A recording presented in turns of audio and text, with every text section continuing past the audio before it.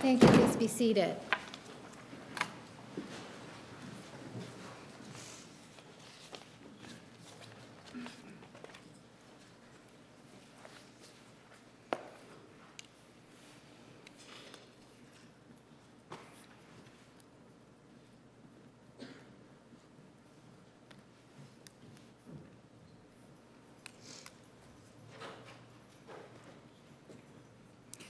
Counsel, while we're waiting for Ms. Willmott to return, could you approach, please?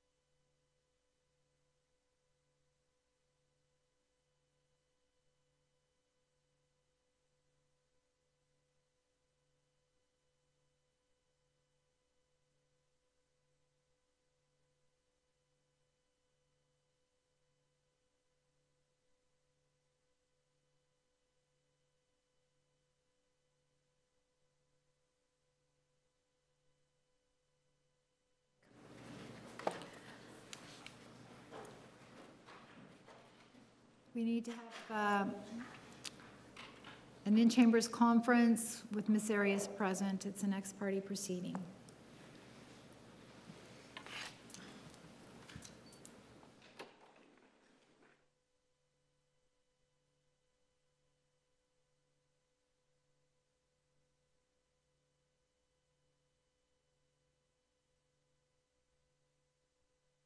Thank you. Please be seated.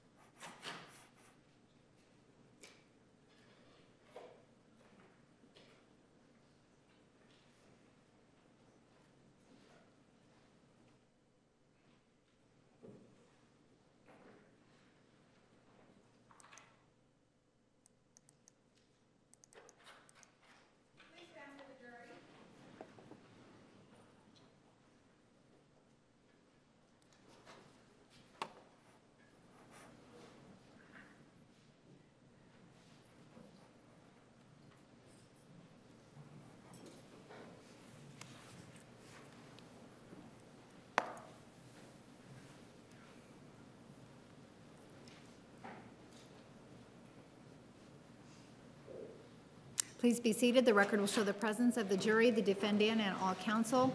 Mr. Martinez, you may continue with cross-examination. Ma'am, your assessment in this case and your opinion in this case was based in large part on an interview that you had with the defendant, correct? Incorrect. So you did not base your assessment on a 44-hour interview that you had with the defendant? I based it on the materials that I, I told you that I've read.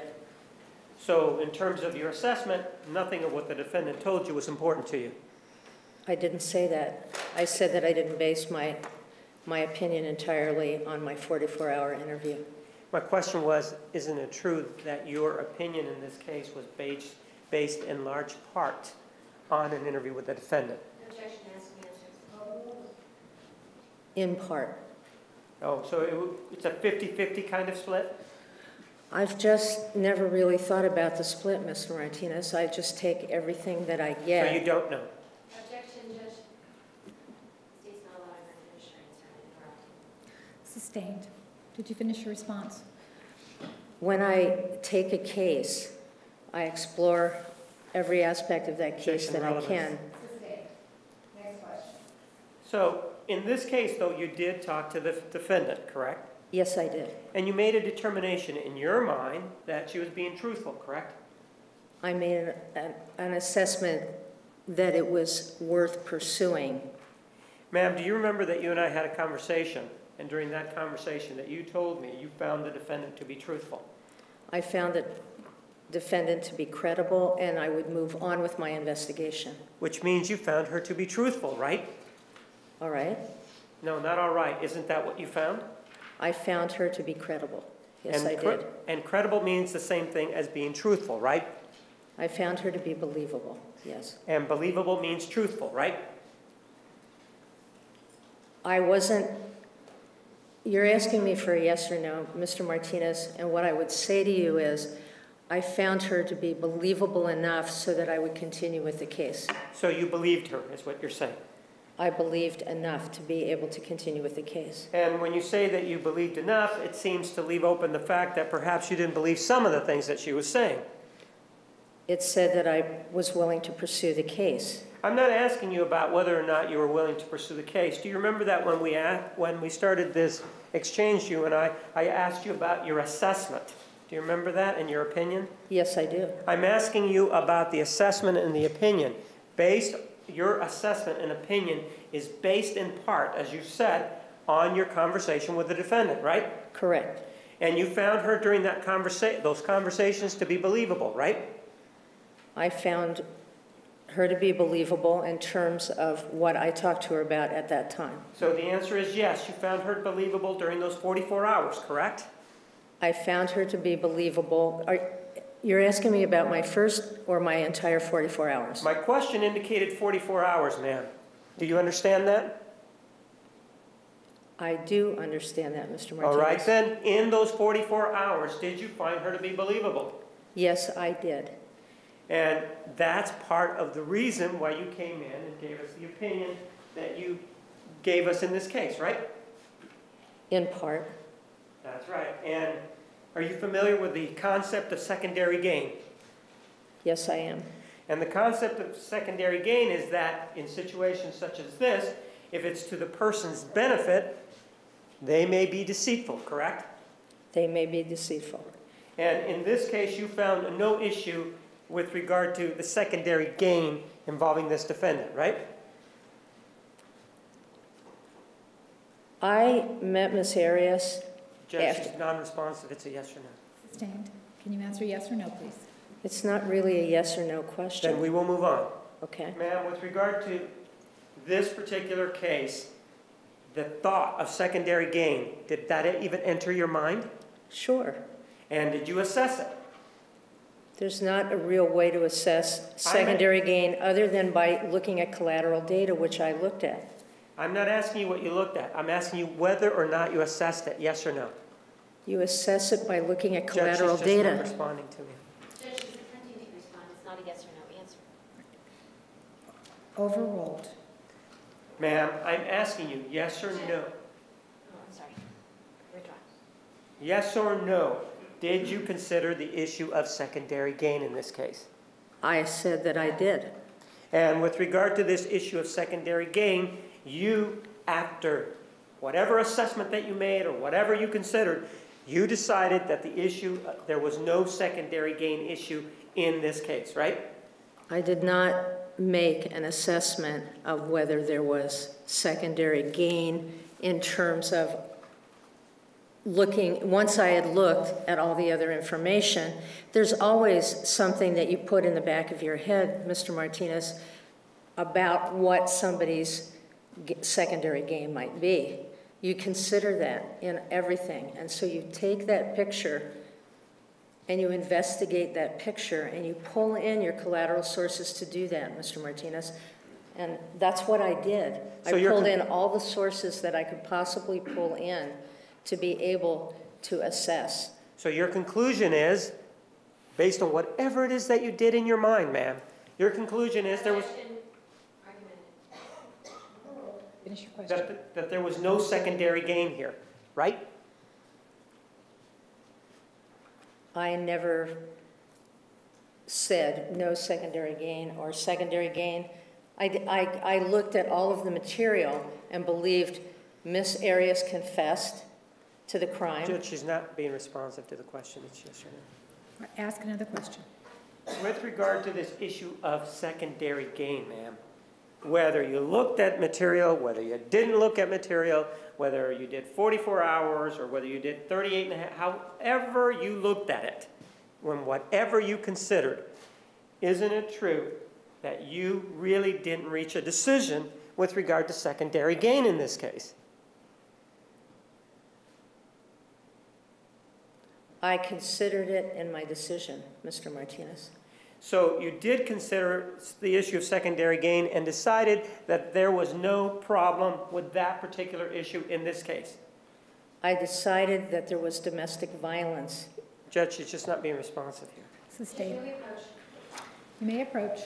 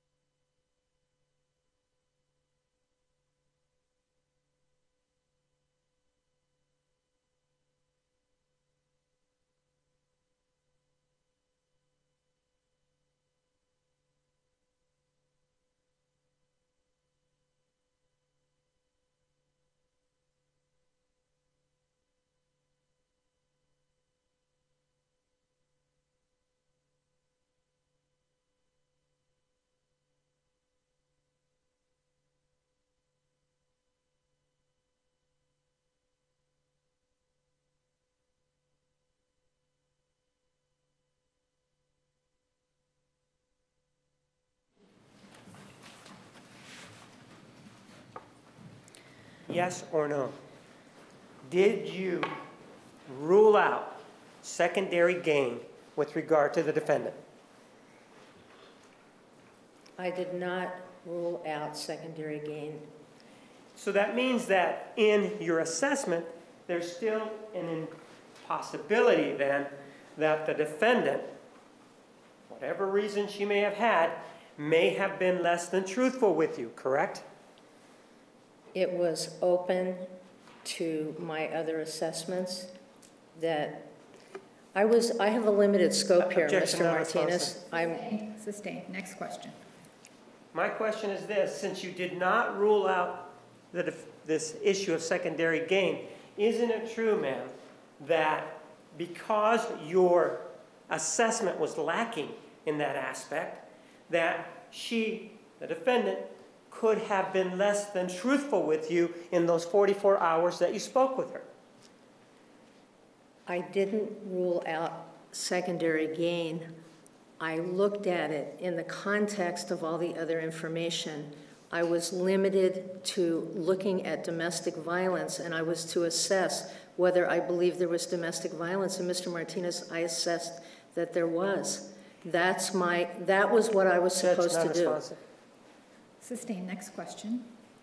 We know what you were there to do, but in assessing domestic violence, you by necessity have to take into account what the defendant is saying, whether or not she's being truthful, correct? Correct. And that involves the issue of secondary gain, doesn't it? It certainly does. And in this case, you just told us that you did not rule it out, which, which means that you did not, in this case, complete an assessment that was free, if you will, of this issue of the defendant being truthful. There's not an assessment that rules out secondary gain, Mr. Martinez.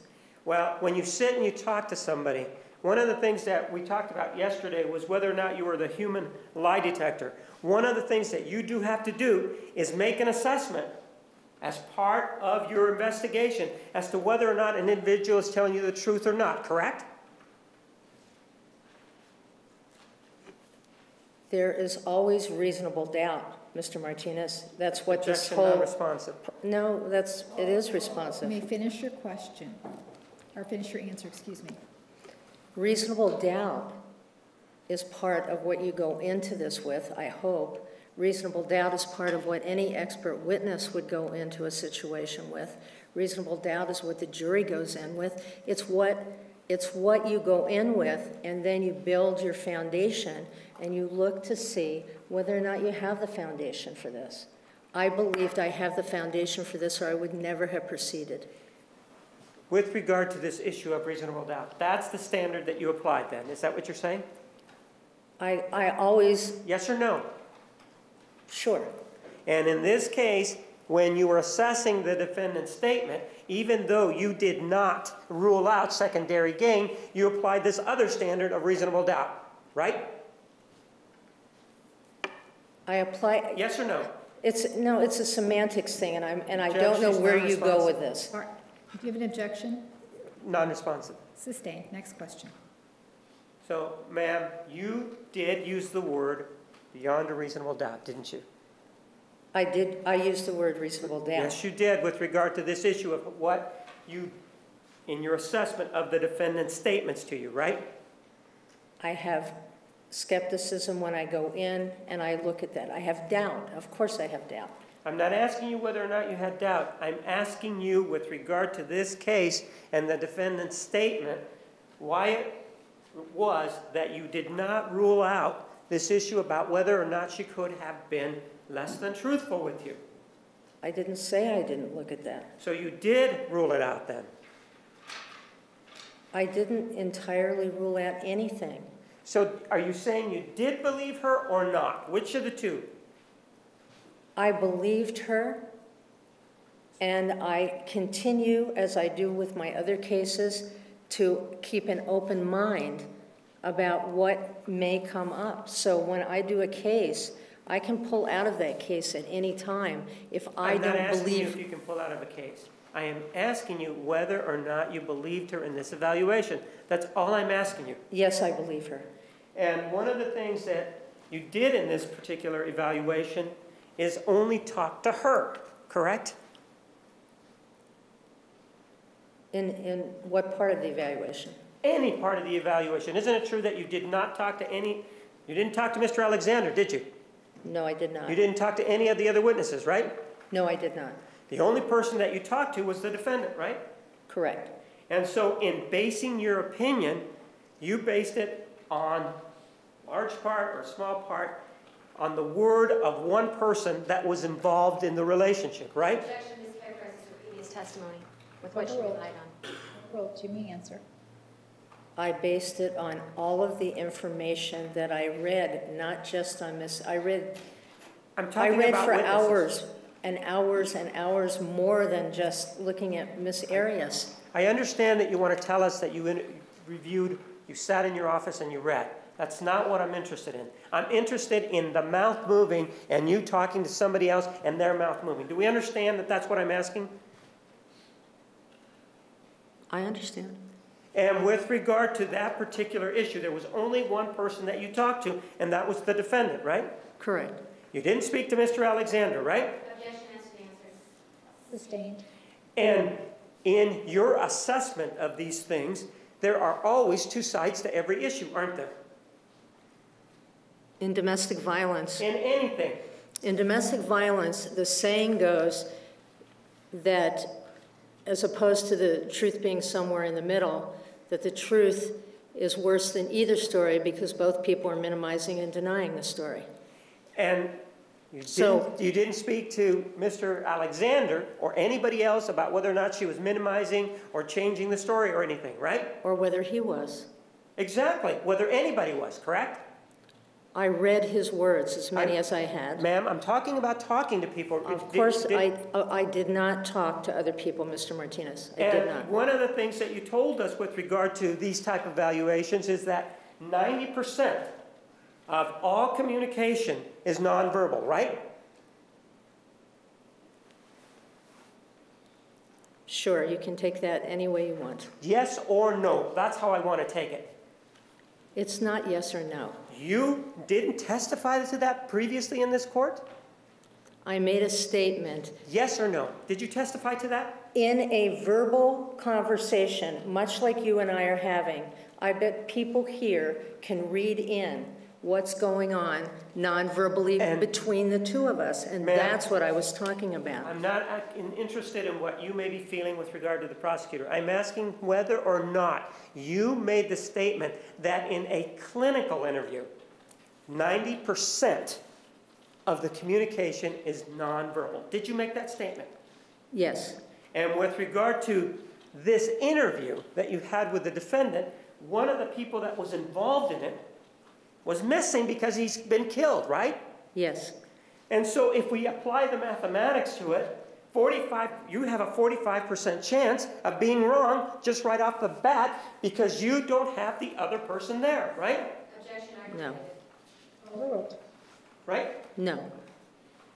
One of the other things that you told us yesterday was that for you, the defendant told the truth as you knew it throughout her life, but yet when this killing happened, that's when she had problems with the truth, right? That's what you told me yesterday, right? Yes, Which means that you, by chance or by design, investigated her truthfulness before this incident, right? yes, Did you speak to her father about her truthfulness growing up? no, I did not. Don't you agree that, what is his name? Bill, Don't you agree that Bill Arias would know about whether the- or not the defendant had been truthful growing up? he would have a, a view of her truthfulness for sure. Right, just like anything you tell us now is a view of her truthfulness, isn't it? Correct? And don't you think that his view of her truthfulness has a much better basis than yours? He has a much longer history with her, and he has uh, a questionable history with her. Whether or not he has a questionable history with her, she grew up in his house, didn't she? She did. He saw her on a day to day basis, right? He did. You didn't, did you? No, I did not. He dealt with her when she went to school, right? Correct. and he dealt with her whenever she had any issues. You did not, right? Correct. And he would know better than you whether or not the defendant had a reputation for honesty. Objection, Growing up. speculation. Pardon? Speculation. Overruled, me answer. Right? Oh, yeah. And so, did you review his conversation with the detective in which he talked about the defendant's truthfulness after the age of 14? Objection, You may.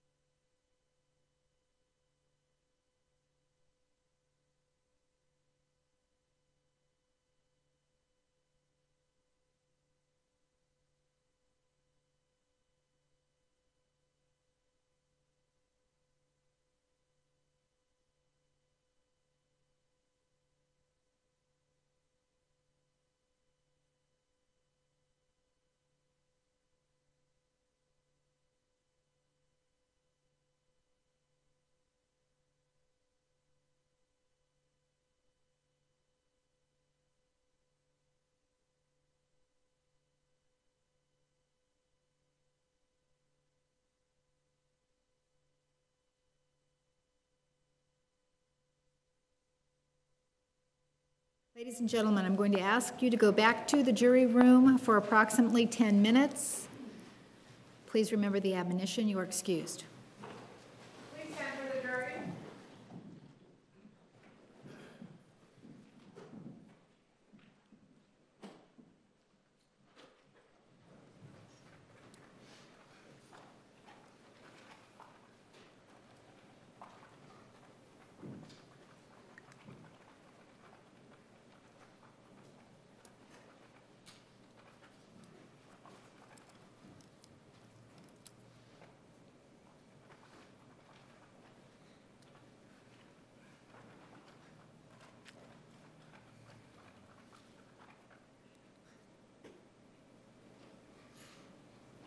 The Record will show the jury has left the courtroom. Please be seated. Court is still in pro- process. Mr. Martinez, you may examine the witness. And Judge, can I inquire though as to how much of a clip this is? Is this the entire interview or are we just going to hear part of it? Nine seconds. I, I would ask for, I would ask for more information so that Ms. LaViolette can put it in context.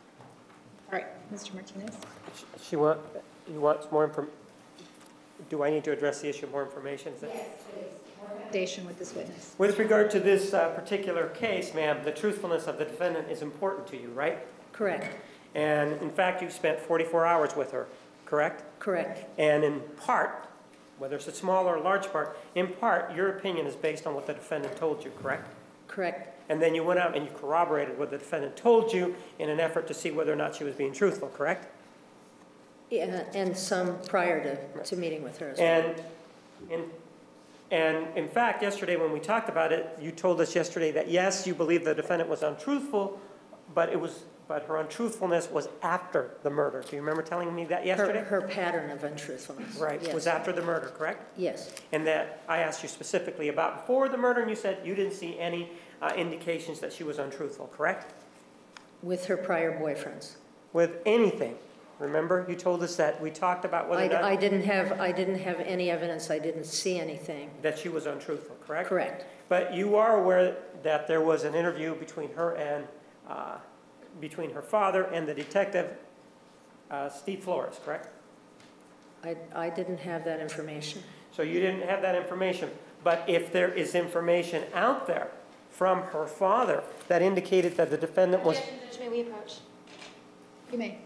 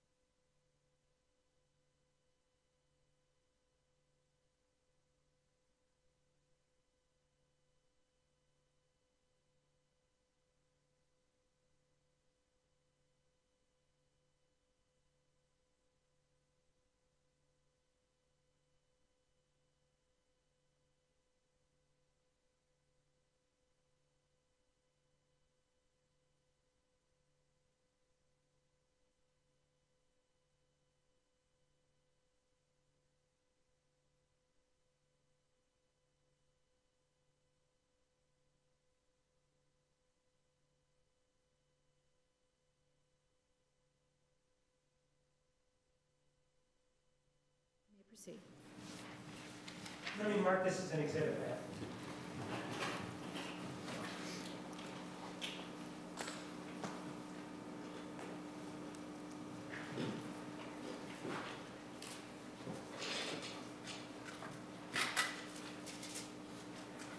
It's exhibit 604.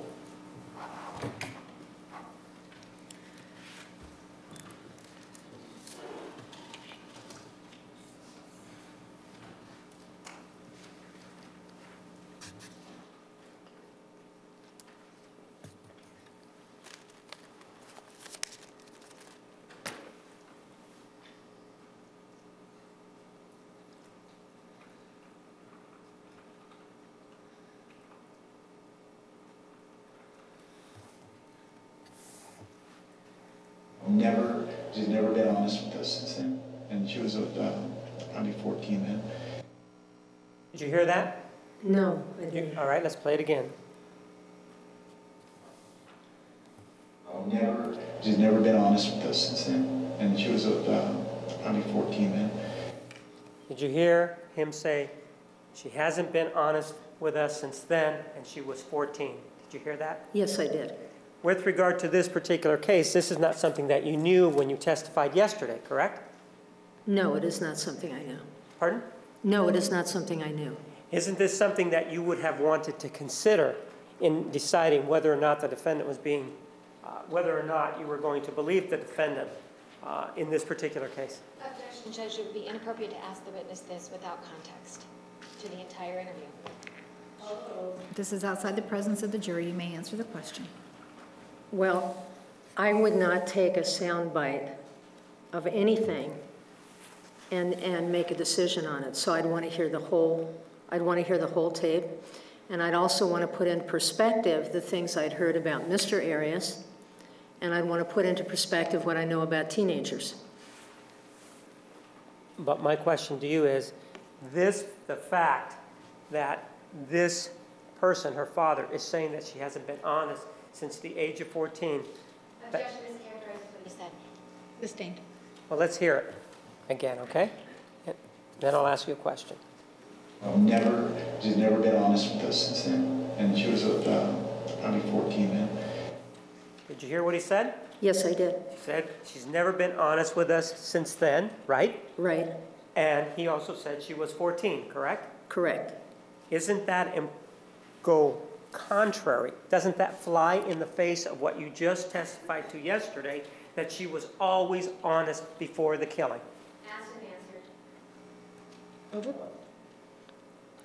It doesn't fly in the face until I've assessed it. I need to find out, I, I- the information I had, I didn't have information that she had lied. When you get information from a parent that a child lies to them in, during teenage years, that does not necessarily characterize someone as a liar or not. And so I would want to take that into account with the information I had that was regarding Mr. Arias as well and his rationale for, for, perhaps for the reason that she did lie to him.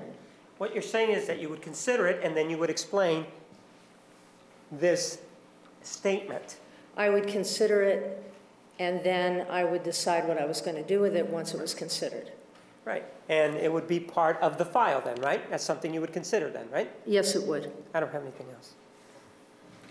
Ms. Willmott, did you have any questions on this issue? Not until she is able to have a better context of what this is actually about.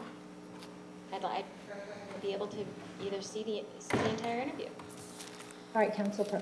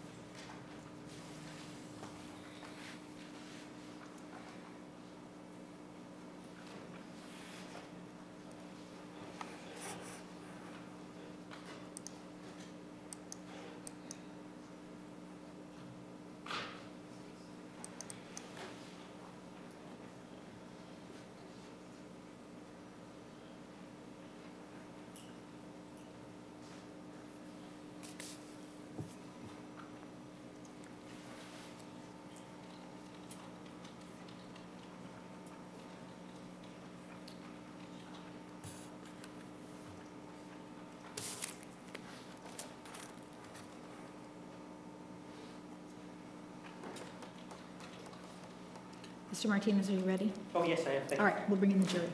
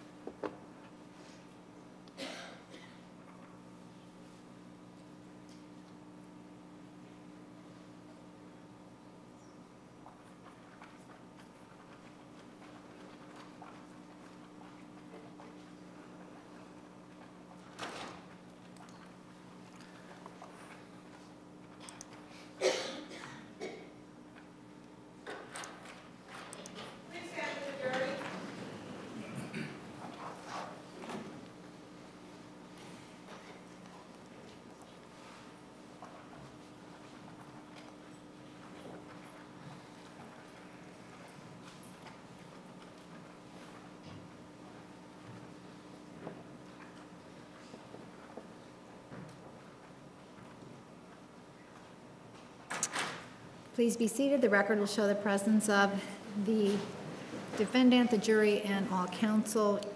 Mr. Martinez, you may continue.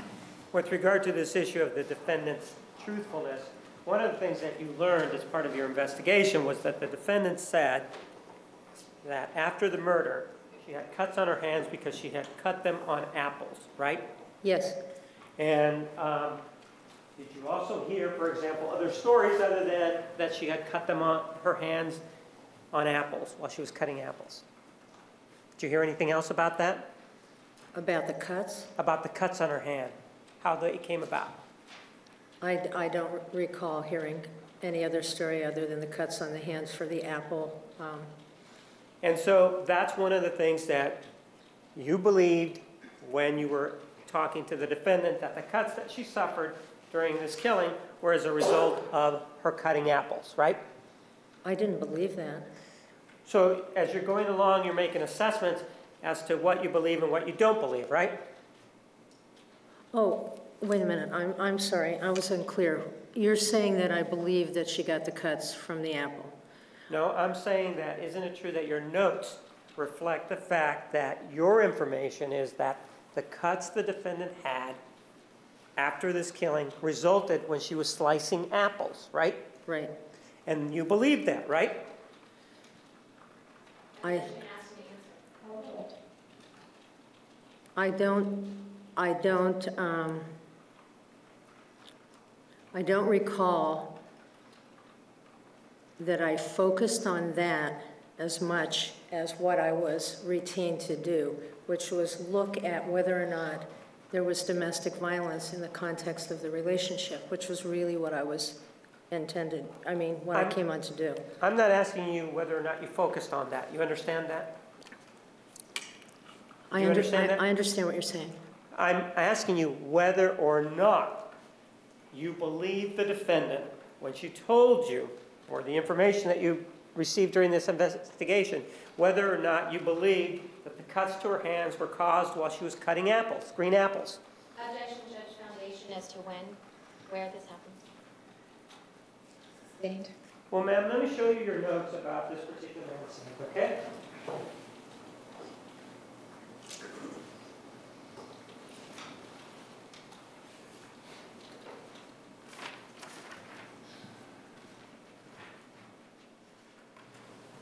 May need my glasses. Did she get her glasses? Yes, you may step down your glasses.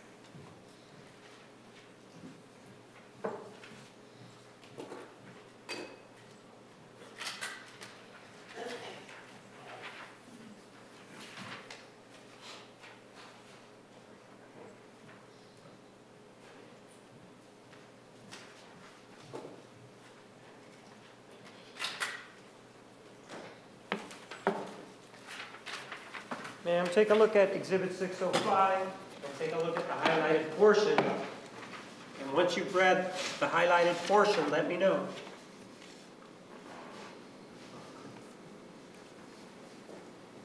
Your Honor, will the witness read the entire page so she has context of it? Yes.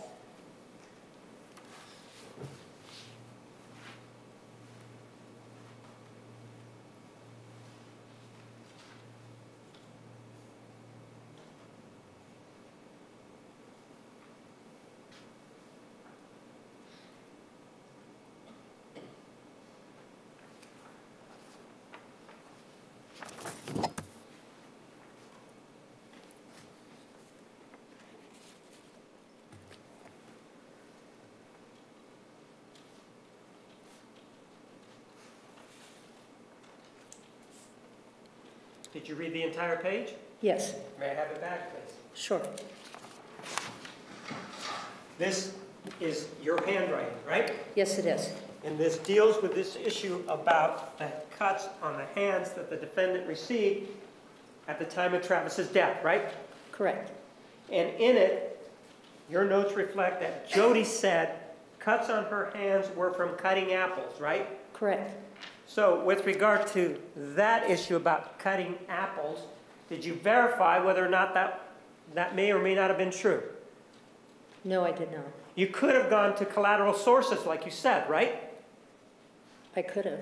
You could have gone, for example, to the police report, right? I could have. You didn't do that, right? I did read the police report. And do you know whether or not there were any statements in that police report of what the defendant said caused the cuts on her hands? No, I don't. But you did read the police report, right? I read the police report very long ago and didn't reread it. So the answer is you did read the police report, right? I did read the police report. And do you know whether or not, from your memory, whether or not there was any indication what she said caused the cuts on her hands? No, I don't. One of the things that you told us was that you reviewed, did you, re- well, let's do it this way. Did you review her statements to the police? I did. I reviewed them a long time ago. I'm not asking you, am I asking you when you reviewed them, ma'am? I You're am not. asking me if I reviewed them, and I'm putting that in the context that I reviewed them a very long time ago. I'm not asking you for a context. Do we understand each other? I understand you don't want context. Ma'am, Judge, she's, I would ask that she be admonished for the last comment as to what the prosecutor wants. Your Honor, she answered the question. All right, move on, next question. Ma'am, with regard to this particular case, you did review her statements to the police, right? I did. You reviewed the videotapes, right? To the police? Yes. No, I did not. So you just reviewed a transcript of it, right? Tr- Correct. And in that transcript, isn't it true that there's a different version of how she cut that finger? I guess there is, because you're telling me, and I don't remember. No, I can don't tell- want you to, so I don't remember, I don't recall, Mr. Martinez, let's, honestly. ass- all I right, don't let's recall. assume, let's assume that there were four different versions of how that finger was cut. Objection, this characterizes testimony. Oh. Assume that there are four different versions of how she cut her fingers. Wouldn't that cause any problems for you in evaluating this case because there clearly is an inconsistency there? Mr. Martinez, people lie. Yes or no? No, that would not be a complete answer. All right? Um, No, it would not cause a problem for you, or yes, it would cause a problem for you? I cannot answer that yes or no and be honest about how I answer it. With regard to this case also, you were aware of this issue involving gas cans that the defendant uh, supposedly asked her boyfriend about before she took this trip. You're familiar with that, right? Darryl Brewer, Right. Mm -hmm. Yes, yes, you're familiar with that. And you're familiar with that, the fact that before she went on this trip, she called, she asked Mr. Brewer for the use of two gas cans to take on the trip, right? I am. And in fact, that caused you problems, didn't it? I- I'm not sure what you mean. Well, that caused you problems in terms of the defendant's truthfulness, didn't it? I You, don't- you look over there, no, no, I'm asking the question. No, no, That I'm- caused you I'm- problems, didn't it? I don't believe it did, I Well, let's take a look at your notes. All right,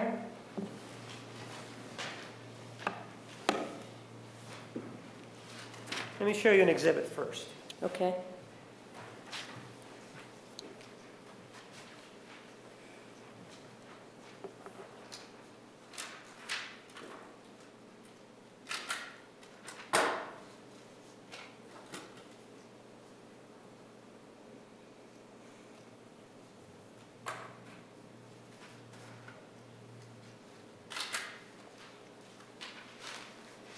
you a little context, take a look at Exhibit 607. Read the whole thing and then let me know when you're done. All right.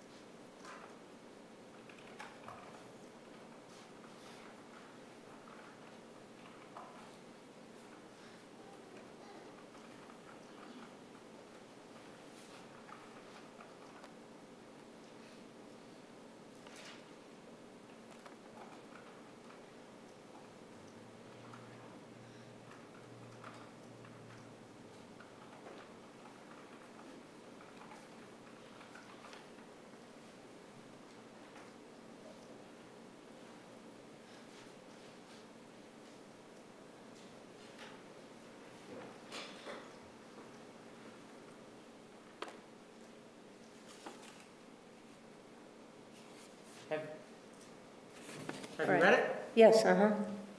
That's your handwriting on this particular page, right? Right. And it does reference this issue involving the gas, the borrowing of two gas cans from Darryl Brewer, right? Right, but I, I- Yes or no, does it? yes, yes, it does. And it, doesn't it indicate that on the last week of May of 2008, Jodi told Darryl she needed to borrow two gas cans because she was taking a long trip to Mesa? Doesn't it say that? In part, it says that.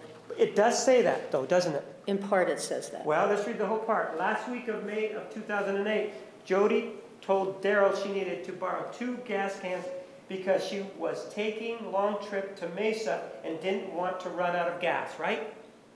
That's what it says. That's in part what it says. That's not what the rest of it I'm says. talking about the issue involving the, the gas cans. That's all it says about the gas cans, doesn't it? Well, it I'm talks about the gas cans. Take a look at it. I, I looked at it. I, I took notes on what people said. I took the notes right off what people said. I don't necessarily have a problem with what I said. I took notes to ask questions. And isn't that how you do your did the evaluation in this case? You take what somebody said, and then you look at everything else, and then you come in and tell us that this is domestic violence, right? This doesn't have anything to do in particular with the domestic violence I was assessing, Mr. Martinez. You took this, you used the same procedure with regard to this particular issue that you used with regard to any other issue in this case, right?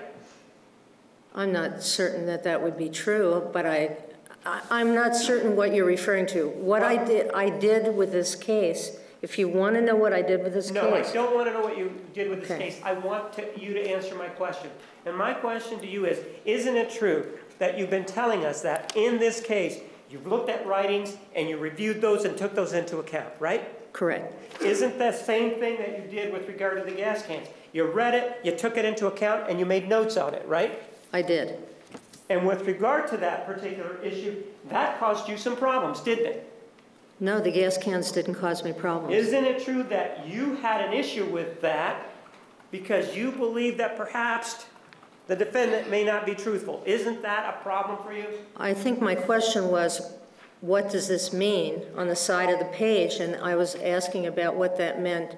I wanted to get a description of what erratic behavior meant. Actually, isn't it true, ma'am, that what you thought back then is why did the defendant want to borrow two gas cans from Darryl? Did she know she was going to? Your Honor, he's reading from something that's not been marked or in evidence. Sustained. Isn't it true that you were concerned that she had told you about the trip, and now you have this issue about her going to Mesa, and then you said, I thought this was a last minute decision. Didn't that create a problem for you?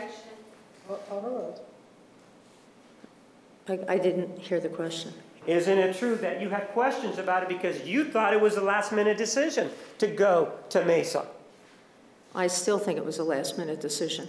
And that caused you problems in the context of exhibit number 607, which is what she told you about Darryl and the gas cans, right?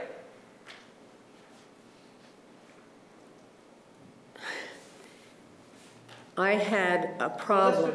That's what, that's what, I had a question you're, you're saying a problem, I had a question.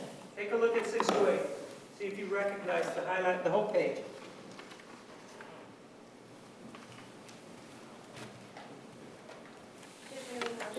I, I did ask her Oh, that. Hold on, hold on. There's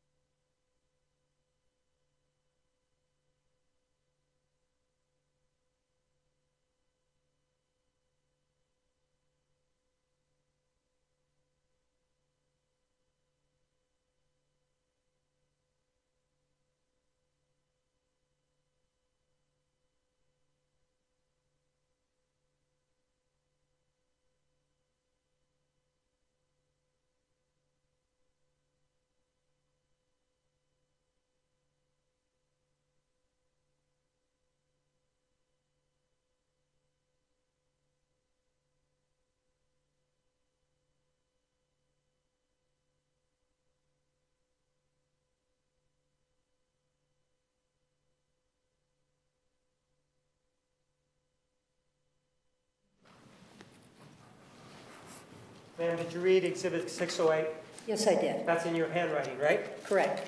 And in fact, the approach that you took here were some, looking at things that you had problems with in this case, I had right? questions about. Questions that you had in this case, right? Yes, And one of the questions that you had in this case involved the gas cans, didn't it? yes, it did. And in fact, you indicated that you, your words were something to the effect of, you thought it was a last-minute decision and it was creating a conflict for you, right? I wanted to make sure that it was a last-minute decision. I had questions that I wrote throughout, and I asked those questions. And that was one of the questions that you had, was that you thought this was the last-minute decision, right? Yes, And thinking that it was a last-minute decision, in your mind, it did not make any sense that she would go to Darryl Brewer and ask for two gas cans to go to Mesa, because that happened many days before the trip started, right? Objection is mischaracterizing what Ms. Arias actually said. She never said that. The, the summary of the notes are not what Ms. Arias said. overruled. You may continue. Okay? okay. You may answer. Oh, um, I had a question about the gas cans, and one of the questions I had was because I don't know how far Utah is from Yreka. I wanted to know why she needed gas cans, that's all. But And, and, and I wanted to know if there was a decision to go to Mesa, which I had written, and later in that same page, it talks about the trip to Southern California and Utah. So I wasn't clear about whether Mesa was an intended trip or not, and I Well- wanted to find out whether it was. are you saying, ma'am, that you did not write in your notes, last week of May 8, 8, Jodi told... Objection, Your Honor, is reading from an exhibit. It's not in evidence. Absolutely am. I'm I'm impeaching her now with the statement because she- if, if you want to address it. Judge, it's not, Approach, counsel.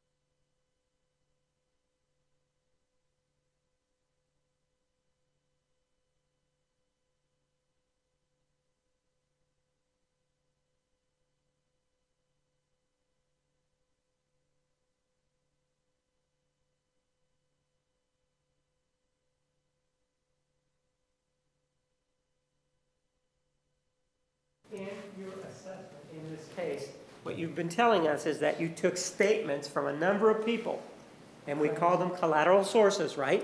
Correct. And you looked at those statements from other people, these collateral sources, and then you compared them to other collateral sources and any statements by the defendant, right? Correct. In this particular case, you viewed the statement of a collateral source, right? I did. Darryl Brewer, right? Correct. And during, and in viewing the statement of Darryl Brewer, there was this statement about the defendant requesting or asking to borrow some gas cans in late May of 2008, right? Correct. And with regard to this statement from Mr. Brewer involving the gas cans being borrowed in 2008, the indication was that the defendant told him she needed to borrow two gas cans because she was taking a long trip to Mesa and didn't want to run out of gas, right? Correct.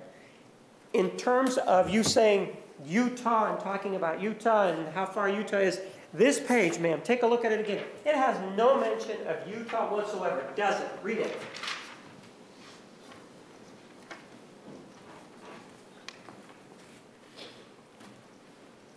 Jodi said she was going to visit. no, no, read it to yourself. It does mention Utah. And it mentions it at the very bottom, doesn't it? No, it mentions it uh, a par, about, in the s- same paragraph as, as the question about Mason, it mentions the Grand Canyon. All right, go ahead, let me have it back. Okay. But it mentions Utah, man, after she goes to Mesa, right? It says Mesa, and then it says the other things. Right, and talks about what she's gonna do, with- but it doesn't talk about Utah first, does it? No, And that created a problem for you, didn't it? I had to ask a question. Didn't it? It created a question for me. Okay, it created a question for you because you thought this decision to go to Mesa was a last minute decision, right? Correct. And what you did is, with regard to this issue, even though you reviewed a statement to the police and all the other items in this case, you decided to resolve this conflict or this question in favor of the defendant, right? I asked the, the defendant about it. She told me that she was going to, that she had not said she was going to Mesa, she was going to Utah. And the, the, also the um, journals indicated, and the IMs when they were talking about planning trips. So I used other things to look at that. But yes, I had a question about it for sure. And you decided to resolve it in favor of the defendant irrespective of what you used, right? Irrespective of what sources you used, right?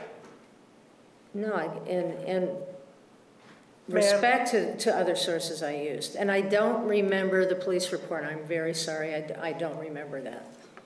With this, with regard to this issue as to whether or not she was going to Mesa first, ma'am, isn't it a fact that you could have just called or had an interview with Mr. Brewer to try to determine what it was that he said? You could have done that, right? You do that as part of your investigations, don't you? I could have, but I was basically told to rely on the information that I had. Well, now, now you're indicating that you were restricted somehow by somebody. I don't want to know who you you were restricted by. Did, have you ever voiced an objection here during testimony that you were ever restricted in your approach in this case? No, And in this case, you, no one was directing your investigation, was it? Were they? no, You're independent. In other words, you have an independent assessment, here to make an independent assessment, right? yes, And as part of that investigation, you could have spoken to Darryl Brewer to see whether or not what he told, what his recollection was, right? I asked about interviewing other people, and I was given the, the information, the collateral sources. Yes.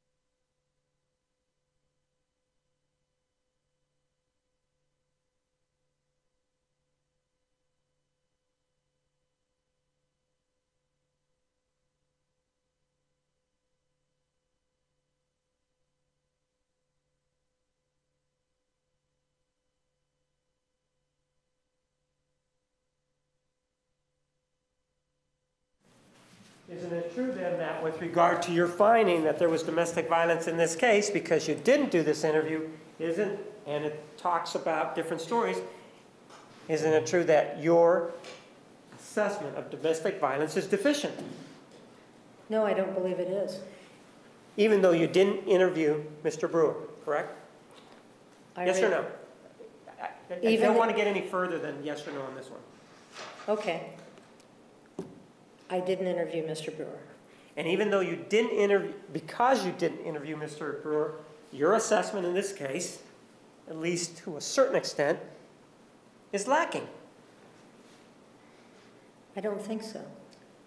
And you didn't interview, well, you're the one that told us that with regard to these kinds of things, um,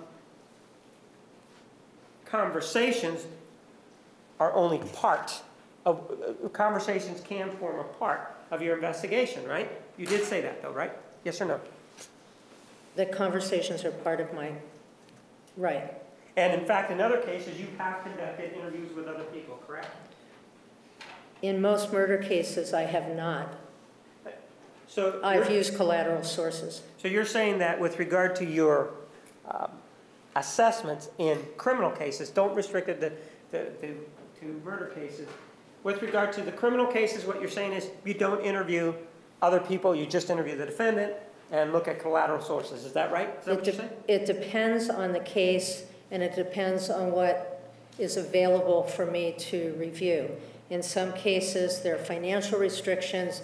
They say these interviews have been done. Um, I'm given those interviews. So it depends on the attorney, and it Well- depends, and it doesn't matter whether it's the prosecution or the defense, Mr. Martinez. It's, there's a limit to what they give me, and, I'm really not asking you to go into that, and if you don't mind not going into that area that Okay. you just went into, okay? I'm just asking you whether or not, it's a yes or no, and if you can't answer yes or no, tell me and we'll move on, all right? okay. With regard to uh, your other criminal cases, isn't it true that in those other other criminal cases, on occasion, you have conducted interviews? Yes or no?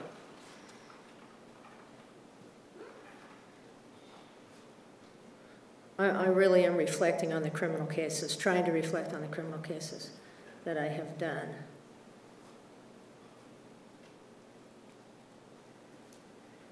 Generally, it's been paperwork.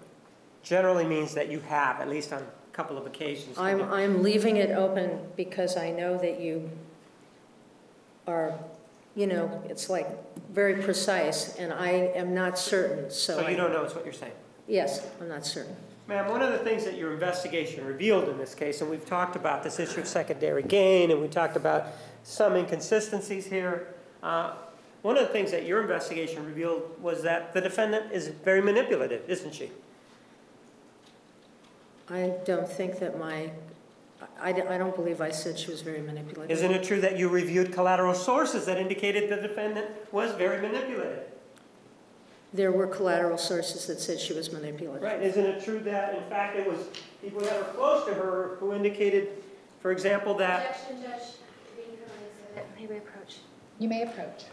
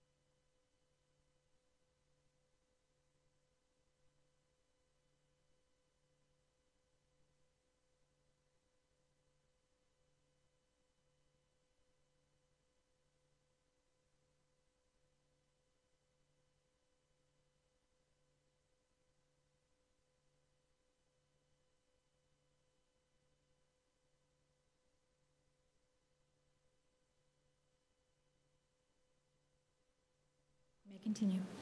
you received information that the defendant was manipulative, correct? Yes, In fact, you received information that the defendant was not abused, she just, Objection, Judge. This is what we just discussed. overruled to that question. isn't it true that your investigation revealed that she was not abused, but liked to play the victim? And that's part of the manipulation. I don't recall that. Let's take a look at your note. Okay.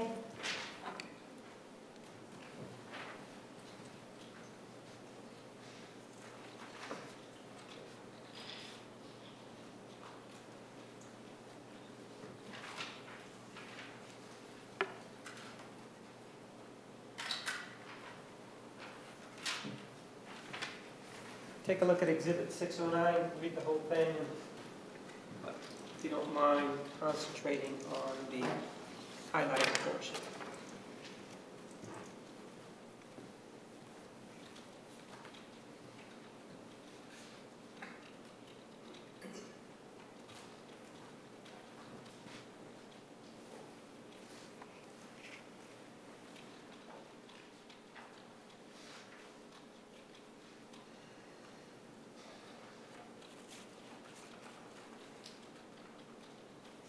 Have you read the whole page? Well, I scanned it. Go ahead and read the whole page, please.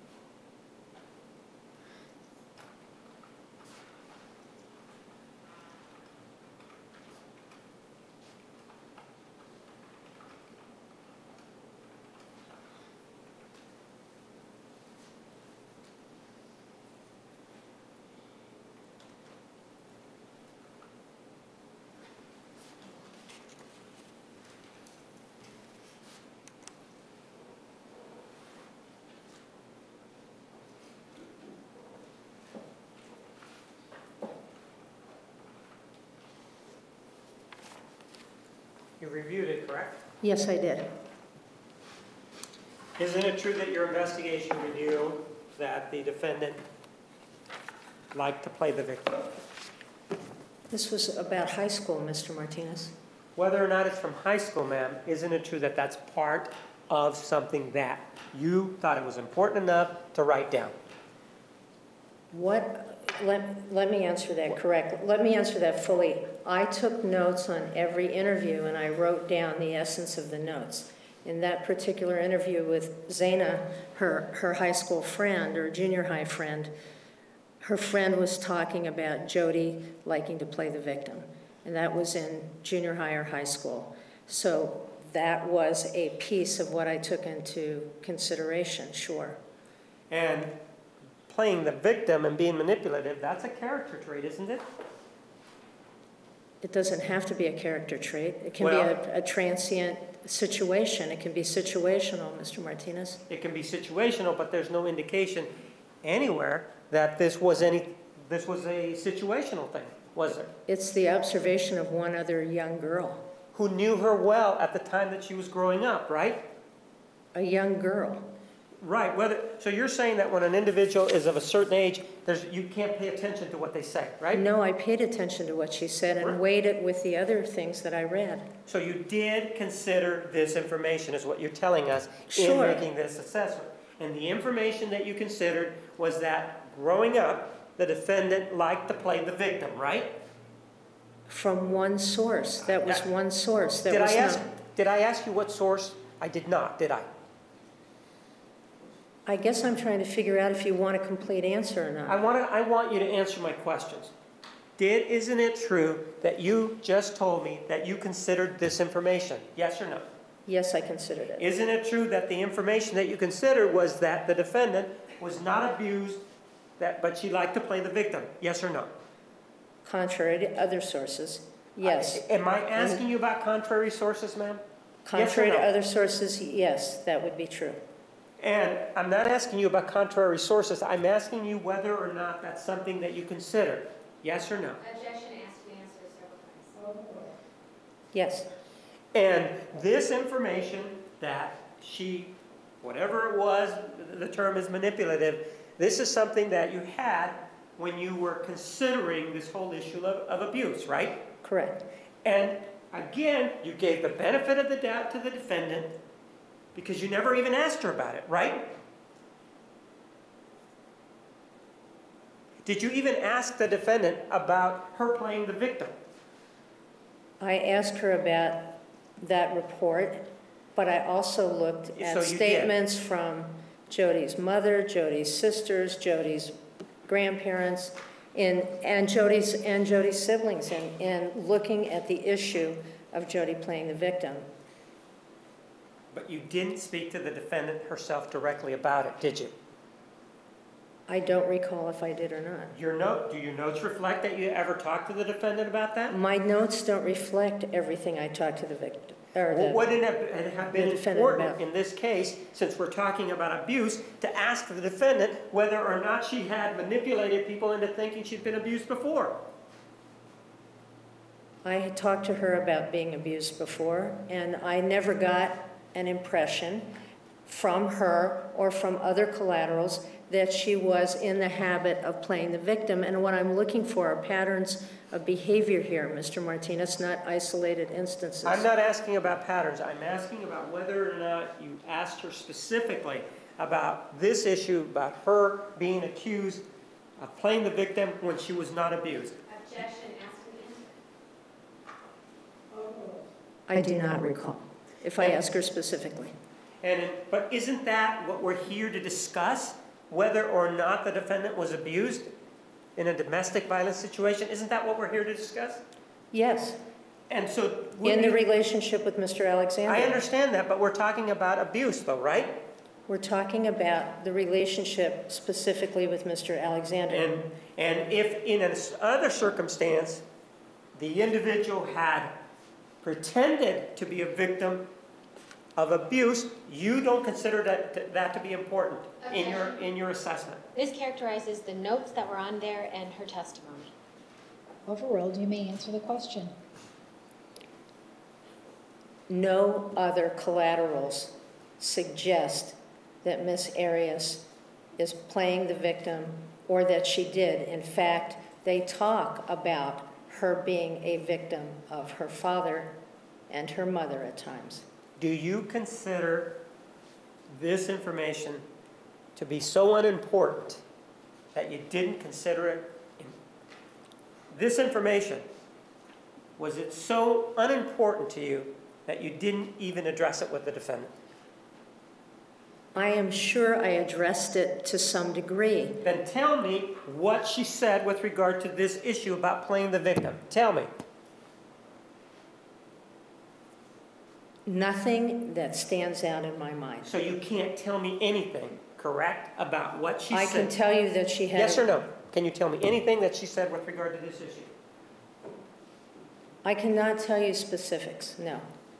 Ma'am, the other thing that we know is that not only is there this indication that she was manipulated at that age, isn't it true that after she, Objection is characterizing the testimony. Manipulative at that age, that's not what it was. Sustained rephrase. with regard, isn't it true that we know that at- at that age, whatever the age that was, that she was perceived to be somebody who played the victim even though she was not abused?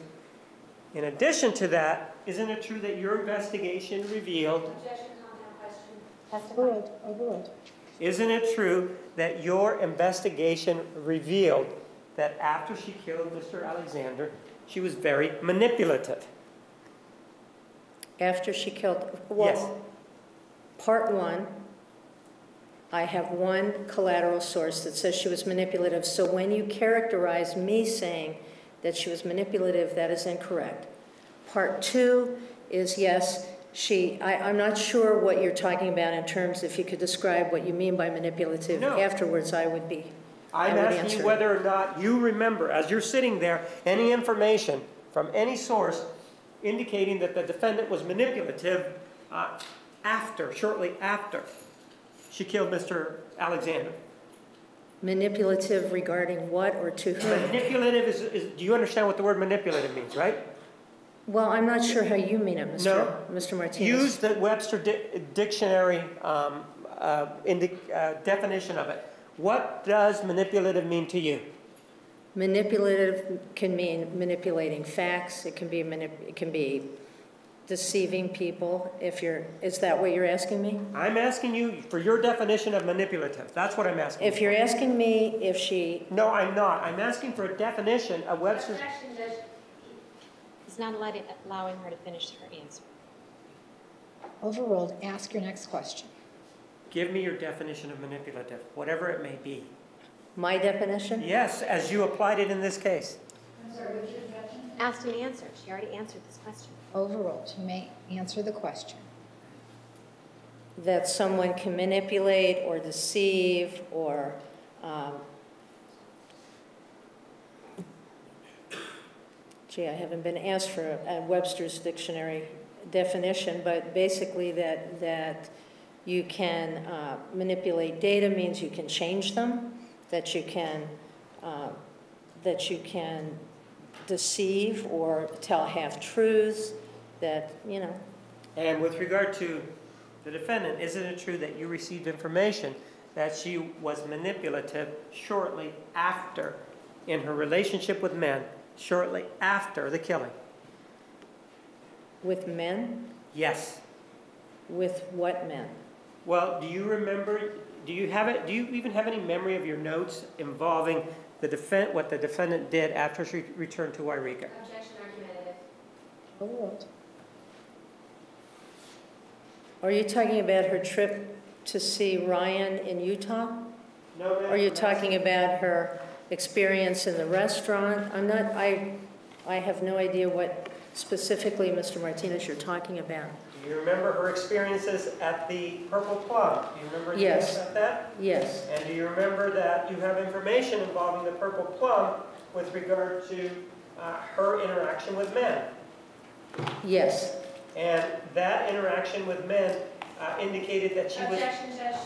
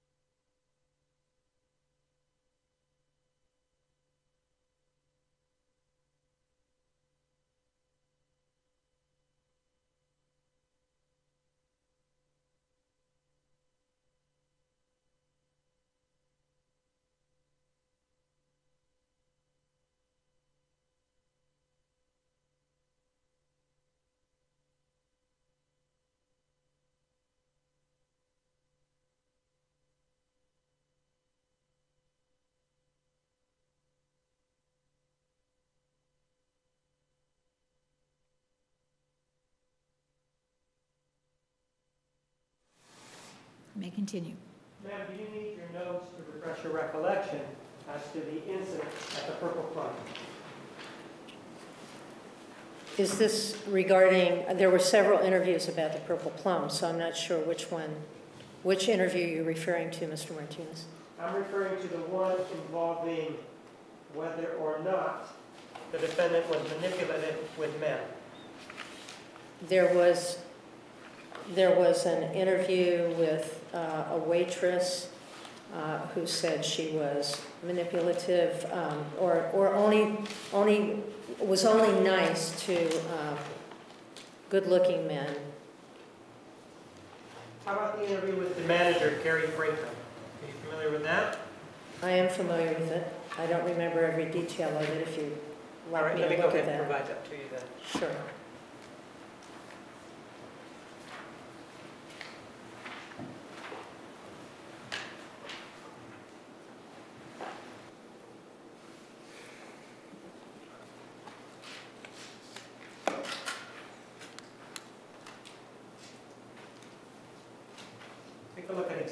10, they it all, including the margins. Sure.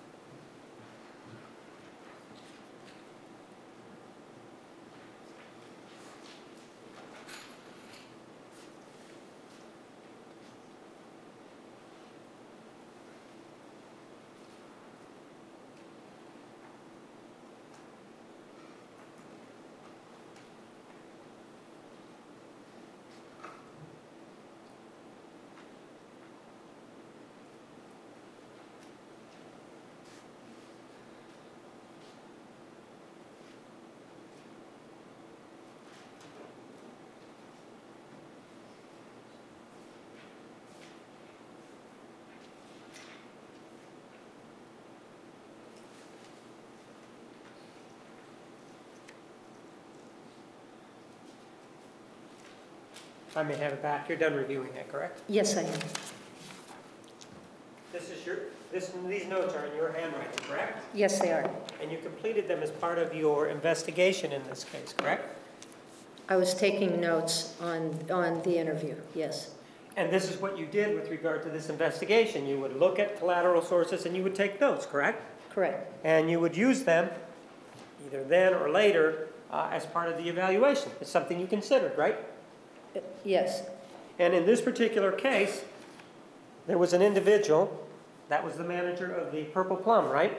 correct. And you talked to the defendant, she worked at the Purple Plum at some point, right? Yes, she did. And when she worked at the Purple Plum, there was this indication, or your investigation revealed, was that the defendant was manipulative towards men, right? Objection foundation. Timing? Sustained. Well, ma'am, what do your notes indicate that, uh, um, well, do you want the date, ma'am? Take a look at the date uh, on Exhibit 610, if that refreshes your recollection as to when this happened. I'll I'll point it out to you.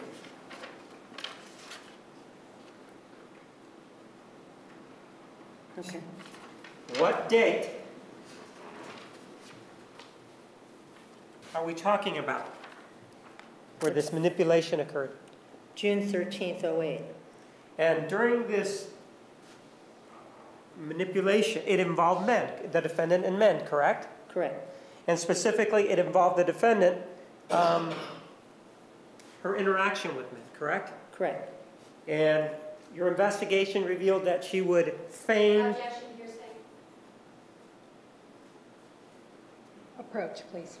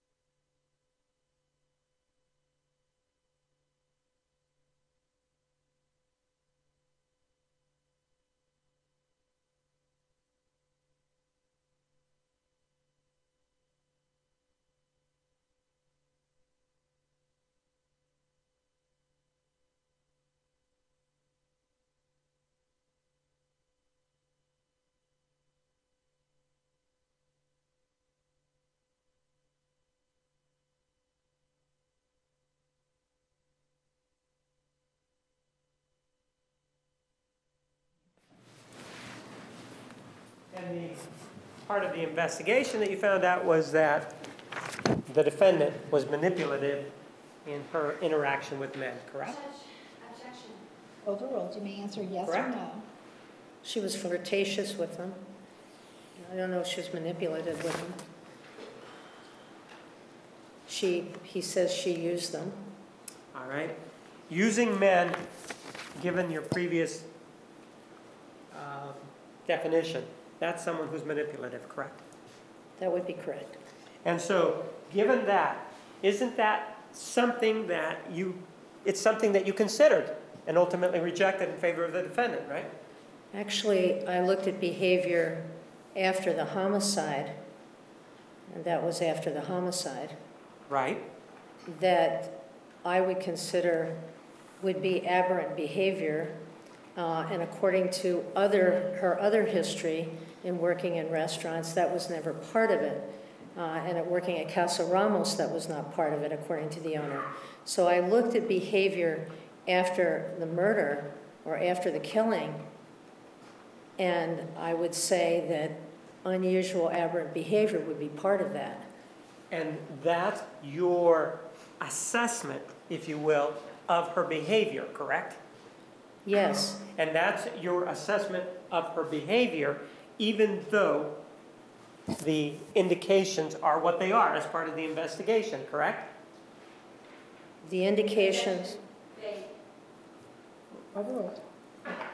The indications, they're, they're contrary indications, with Casa Ramos different than, differently than Purple Plum. But my question, my point is that you decided to disregard these indications that she was manipulative as part of your assessment in this, as part of your opinion in this case, right? I didn't disregard them, I considered them. You considered them but chose to find them to not be of enough value to factor in into your assessment, right?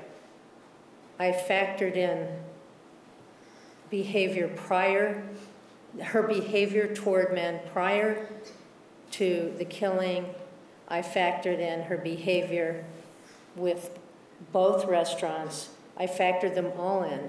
You- You've already told us that, but my question to you is more pointed. You came in here and you indicated that the defendant was manipulated by Mr. Alexander, correct? Abused by Mr. Alexander. All right, he was, and that's, that, that has a component of manipulation, correct? Yes, it would. And in fact, in this particular case, what we have is the defendant ex- exhibiting manipulative behavior after she killed him, right? Correct.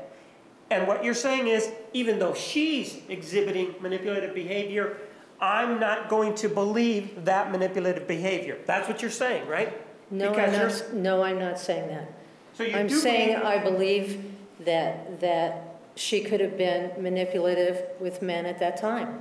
I'm not, it- I'm not disregarding that. If she is manipulative with men, you would agree that Travis Alexander was a man, right? I said she was. Yes or no? Her testimony as to when the manipula, supposed manipulation took place. Overruled. Yes or no? Was Mr. Alexander a man?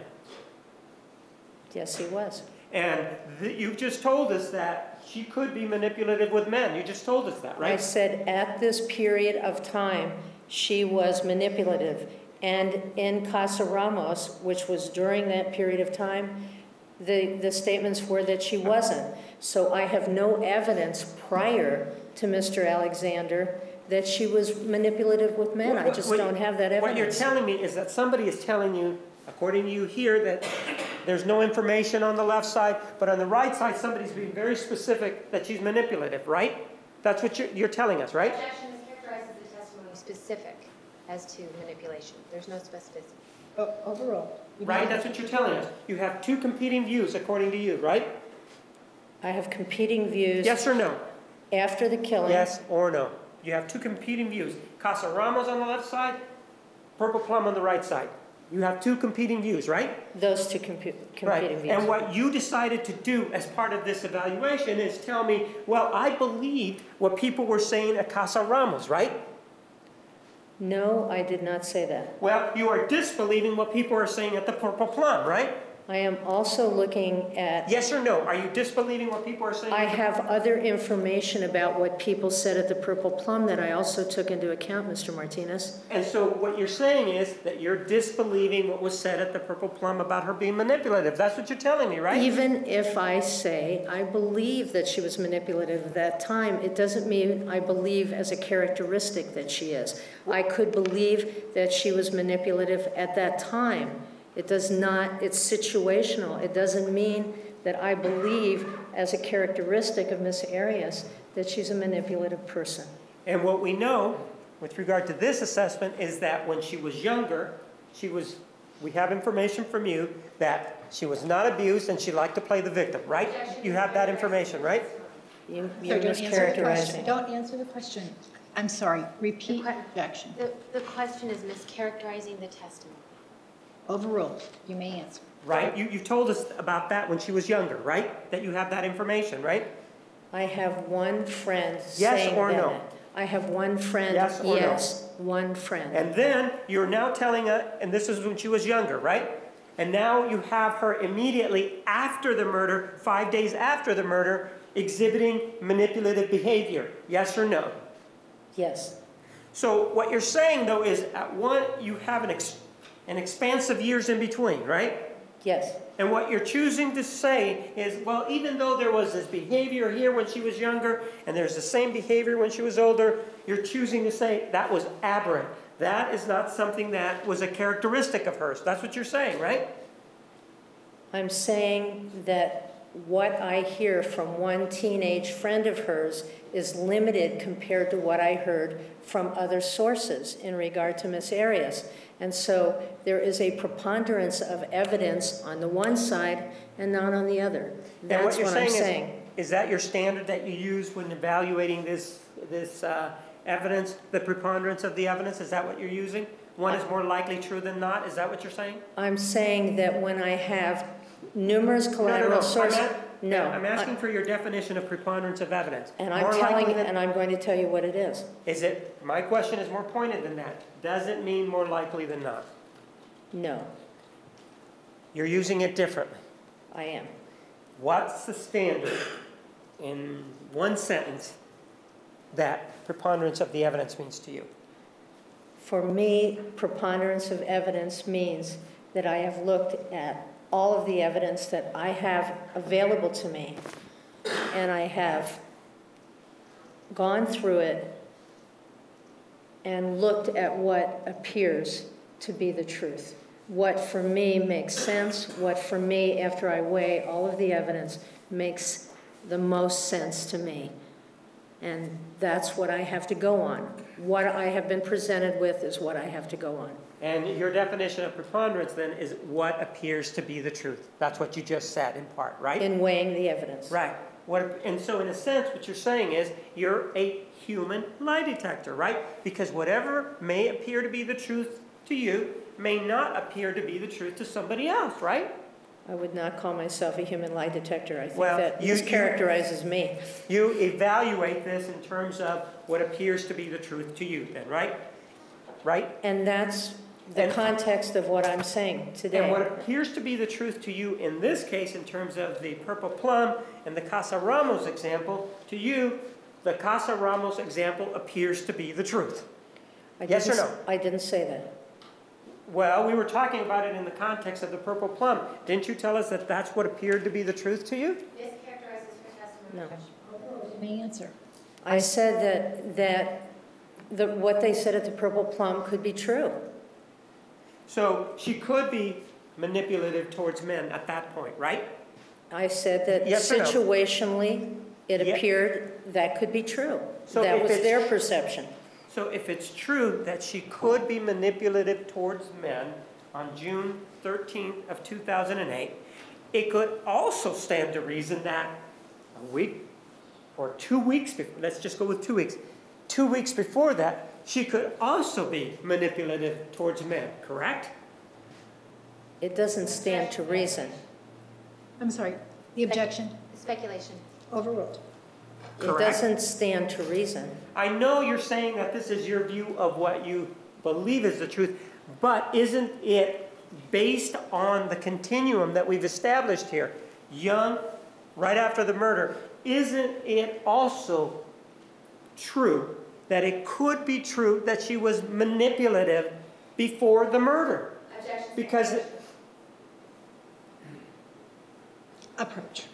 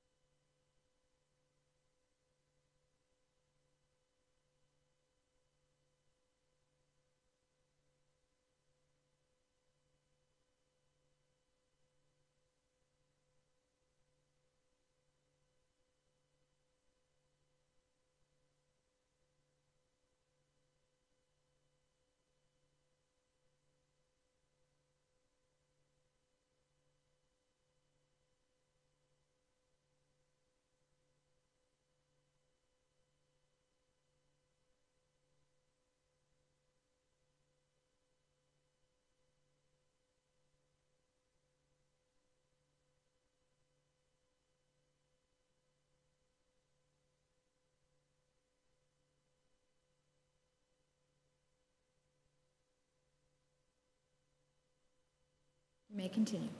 With regard to this issue of manipulation, it could be that we've seen two instances of manipulation here, correct? Objection made. Foundation. Sustained, rephrase. You told us about an incident that you investigated when she was a teenager, and you told us about an incident that you investigated on June 13th of 2008, correct? Correct. Prior to, those are incidents that can be characterized as manipulative, is what you told me, right? Objection is characterized as an, as an incident. When she was a teenager, there's no incident. Overruled. Correct? That wasn't an incident. these statements that were made when she was a teenager and somebody saying that she played the victim when she wasn't abused could be characterized as manipulative, yes or no? Objection is characterized This as is the evidence. Overruled, you may answer. Correct? They could. And you've already talked about the, the case involving the purple plum, and that could also be characterized as manipulative, correct? Yes, it could. Do you remember that we talked yesterday about a text message that was sent by the defendant um, to Mr. Alexander? And this text message was sent mistakenly? Do you remember that, that we talked about yesterday? Yes, It was to an individual named Stephen. Do you remember that? yes, And that, as part of that text message being sent out, Mr. Alexander became upset, right? You became saw that very text. upset. Right, and then the defendant created another text message and sent it, and it was almost the same as the first one. Do you remember we discussed that? Yes, Could it be that this individual that uh, is manipulative, um, given those two incidents, could have sent that text message just to get a rise out of Mr. Alexander and manipulate him into paying attention to her? Are you asking me hypothetically if, if someone who is not known to be manipulative with other men that she's with and spent incredible amounts of time with, if she could do a manipulative behavior? Are you asking me if she, it's possible for her to do something? Isn't it possible that that was manipulative also? It's possible that most of us have done something I'm not asking manipulative. about you. I'm not asking about me. I'm asking about her. It's certainly possible. And with regard to her going to visit Ryan Burns, one of, do you, you talked to her about that, right? Yes, And when she went to visit Mr. Burns, one of the things that happened was that they were involved in some sort of um, sexual contact. Do you under, do you know about that? they were making out. And during the time that they were making out, one of the things that the defendant, do you know why the defendant was making out so shortly after the killing? Do you remember what she told you about that? I remember that she was trying to act normal. She was trying, which is another form of manipulation, isn't it? I don't, I think that's manipulating yourself. I think it's trying to make yourself feel normal in a situation that isn't. Well, ma'am, if she has Mr. Burns laying down and she gets on top of him and straddles him, do you really think that she's trying to make herself feel normal or do you think she's trying to make him feel normal? Do I think? Ma'am, we have I, evidence. I, I don't know who she, I think she's trying to feel normal. I think I would want to feel normal, or anybody would want to feel normal So- so- after what happened. So you're now in, in, in- interjecting yourself into this. You're saying that your mm. standards are that if you killed somebody, you would that same day go and have some sort of sexual relations with somebody else. That's the standard that you want to apply? You know, I'm not saying that, Mr. Well, Martinez. ma'am, isn't that what you said? If I were, didn't you just tell me that? Let me rephrase that. I'm not asking you to rephrase it. I'm asking you a question. Didn't you just say, if I, if it were, or if, if it were me, something to that effect? I, I think you probably know that the answer to that is, I that don't- is not my standard, no. You don't, ma'am, I don't go and, and ma'am, behave. we don't, re, you, you understand that your standards, personal standards are unimportant here, correct? Okay, But you keep interjecting it by saying, if it were me. Do you, do you agree then that by you saying if it were me, you are attempting to interject your standards here, right? I misspoke. When with regard to your standards, in fact, there was an issue that was created in this case because of your standards, wasn't there? I don't know what you're referring to. Do you remember that you told me in our interview that you didn't ask certain questions of the defendant because you were old-fashioned and you were embarrassed? Oh, it's sexual questions? Ma'am, isn't it true that you told uh, me that you were old-fashioned, yes or no? There were sexual questions I did not ask because they do not come easy to me to ask. Yes, that's true. You, it was much more strong than that. You indicated that you were old-fashioned, yes or no? Yeah, I'm old-fashioned. And as because you were old-fashioned, that restricted you in asking the defendant certain questions involving the sexual aspect of Mr. Alexander, hers and Mr. Alexander's um, relationship, right? I read about them. Ma'am, I I- know you want to tell me that you read about them, but I- isn't it true that I- you did not ask her about them, right? I asked about them later, after I had spoken with you, after our interview in November. There was a sex tape. I, I did ask her questions. I'm not asking about the sex tape, ma'am. I'm asking, There were questions I did not ask during, that I had not asked when you and I um, had our interview, and there were questions I asked after that. isn't it true that, first of all, you told me that you were old-fashioned, right? Well- Objection has to be answered. Abstain. After that, isn't it true that you are now telling us that you then went to talk to the defendant, right? I asked her some questions. You did go to talk to the defendant after our interview, right? Correct. You were still old-fashioned. You were even older when you went to talk to her, right? Objection, Martinez. Afterwards. I was, Well, your standard of being old-fashioned hadn't changed from the first time to the second time when you went to visit her, had it? Ye- my, Yes or no? my standard changed because I was exposed to a lot of things that I needed to find out about.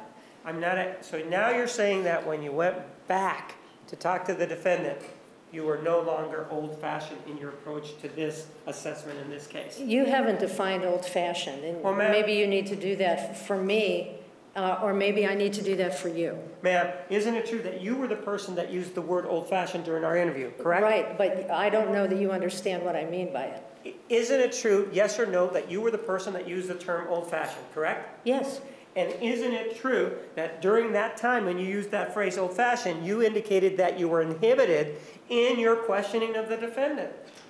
I said I hadn't asked her if she used KY or not, or Do you who wanna- brought it, if, if that's what you're asking me. I did not specifically ask, did you bring KY, or did you bring Astroglide? I did not do that. Ma'am, isn't it true that that's not even, the- well, do- why don't we play it so that you can take a look at, it? listen to it, okay? Objection, Judge.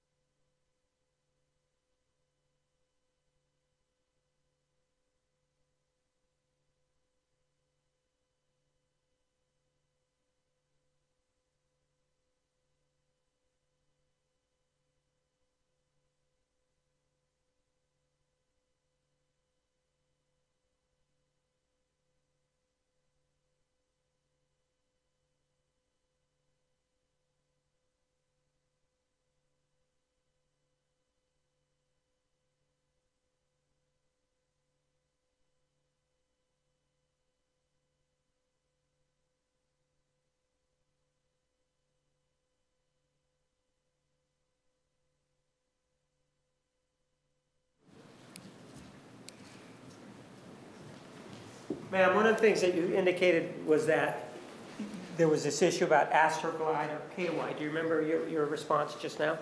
Yes. Ma'am, isn't it true that when we were talking about this being old-fashioned, we weren't talking about that, we were talking about something else? And the answer is yes or no? Do you remember? May we approach? I, I can't do it without speaking. Yes, May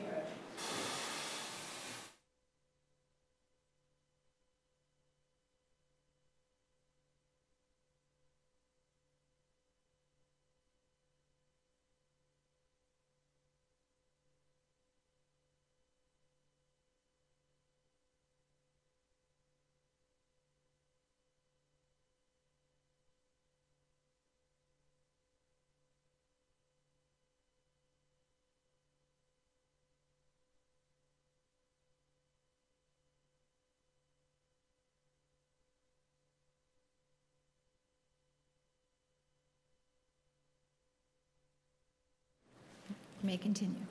And you indicated that in, in conjunction with our conversation involving being old-fashioned, something about KY and Astroglide. You, you said something about that, right? Yes.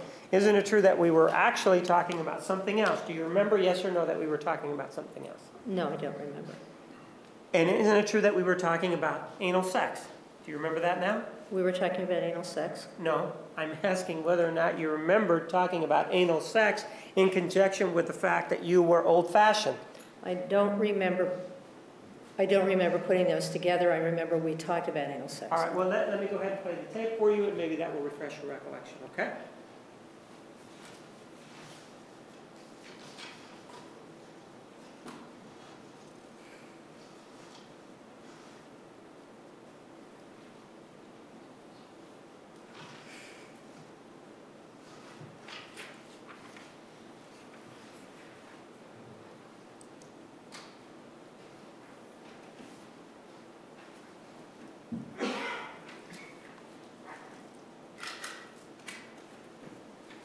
Judge, may we, did the defense see what is actually on this clip prior to it being played? I see that there's a transcript. I'm just- Yes, you may.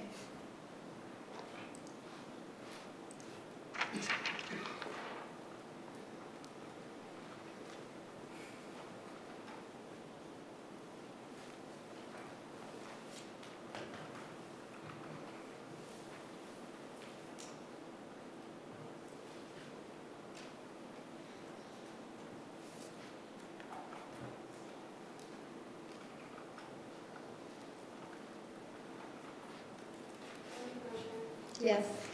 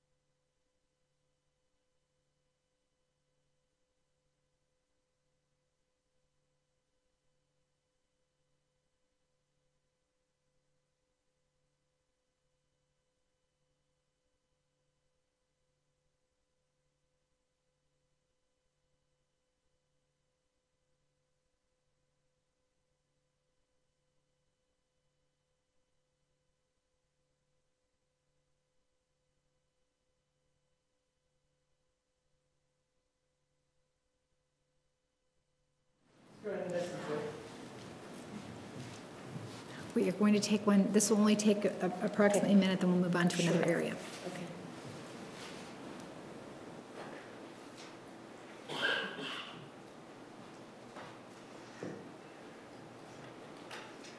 Um, did you ever discuss the sex with, uh, Miss Arias between her and Mr. McCartney? She said they had normal sex, and that, um, and this is once again, I, I can't recall if it was Bobby Morris or, or Mr. McCartney that they attempted anal sex once, but that it was, you know, uh, they didn't like it. She didn't like it. This attempt at anal sex, whether it was consummated, did you say it was consummated or not? I didn't ask if it was consummated. Okay, this anal sex, was it at her insistence or his request? Whether it's Mr. Juarez or Mr. McCartney? I didn't ask. Um, why not? Oh, maybe I'm just old fashioned, I don't know. I, I just, I didn't ask because she said she didn't like it. That was your voice on the tape, correct? Correct, And that's us talking about anal sex, right? correct, And that refreshes your recollection as to it, correct? correct. Which, Time, please be back in the designated area at 1:30. 1:30. Please remember the admonition, have a nice lunch, you are excused. You may step down. You may step down.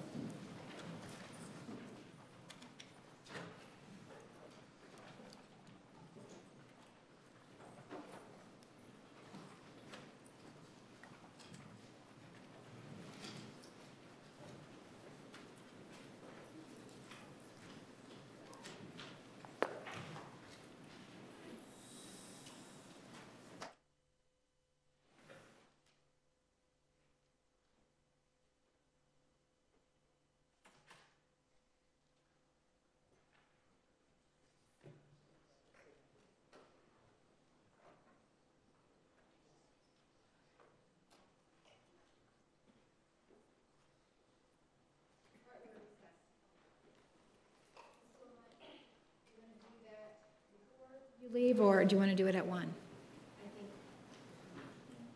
At, at one, but Judge, Ms. Arias would like to be present. Okay. Deputy?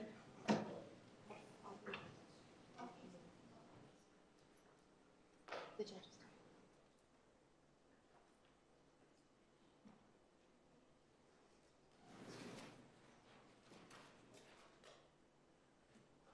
Need Ms. Arias back at 1 o'clock. Thank you.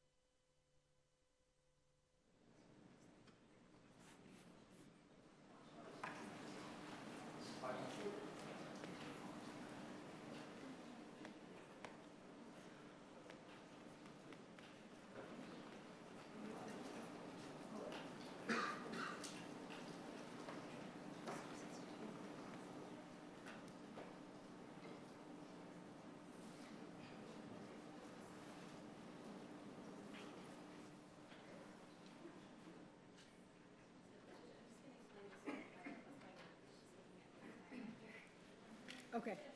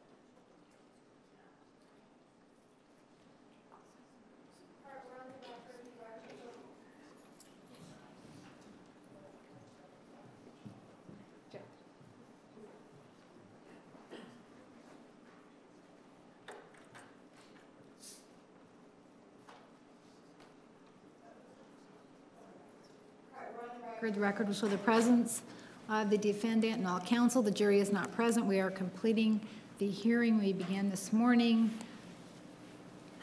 The witness has had an opportunity to review Exhibit 604. Ms. Willmott, you may continue. Thank you, Your Honor. Ms. Violet, you had a chance to review the interview between uh, Detective Flores and Bill Arias, Yes, I did. and were you able to view the entire interview? I, uh, yes, I did. And specifically, you were asked questions earlier by the prosecutor about a nine-second clip of that interview. Did you, did, were you able to put that nine-second clip into context? Yes, I was.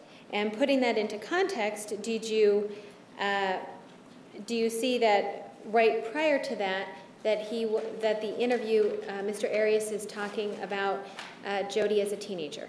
Yes, And that Jodi was uh, in trouble with her parents yes, because she had marijuana? yes, And because she was in trouble, did they search her room? yes, And that after that, is Mr. Arias describing after that he, that they searched her room, that Jodi felt like they were nosy parents? yes, And after that, she, she hid things from them, didn't talk to them. absolutely. And, and then, after all of this context we talk about, after that is where we hear the nine-second clip about, uh, since, since she started not talking to them as much, that she basically, the nine-second clip that she lied to them since then, and she was about 14 then. Yes, Uh, Putting that in context with what Mr. Arias was talking about as um, Jodi as a teenager, does this, does this make any difference to you in your ultimate assessment of domestic violence? no, it doesn't. Does it, something that she did as a 14-year-old girl, uh, as a teenager with her parents, does that have anything to do with the, or change any of the evidence that you've seen with regard to her truthfulness when you're assessing a relationship between Ms. Arias and Mr. Alexander? No, it doesn't. Does it either help or hurt your assessment? It neither hurts or helps my assessment.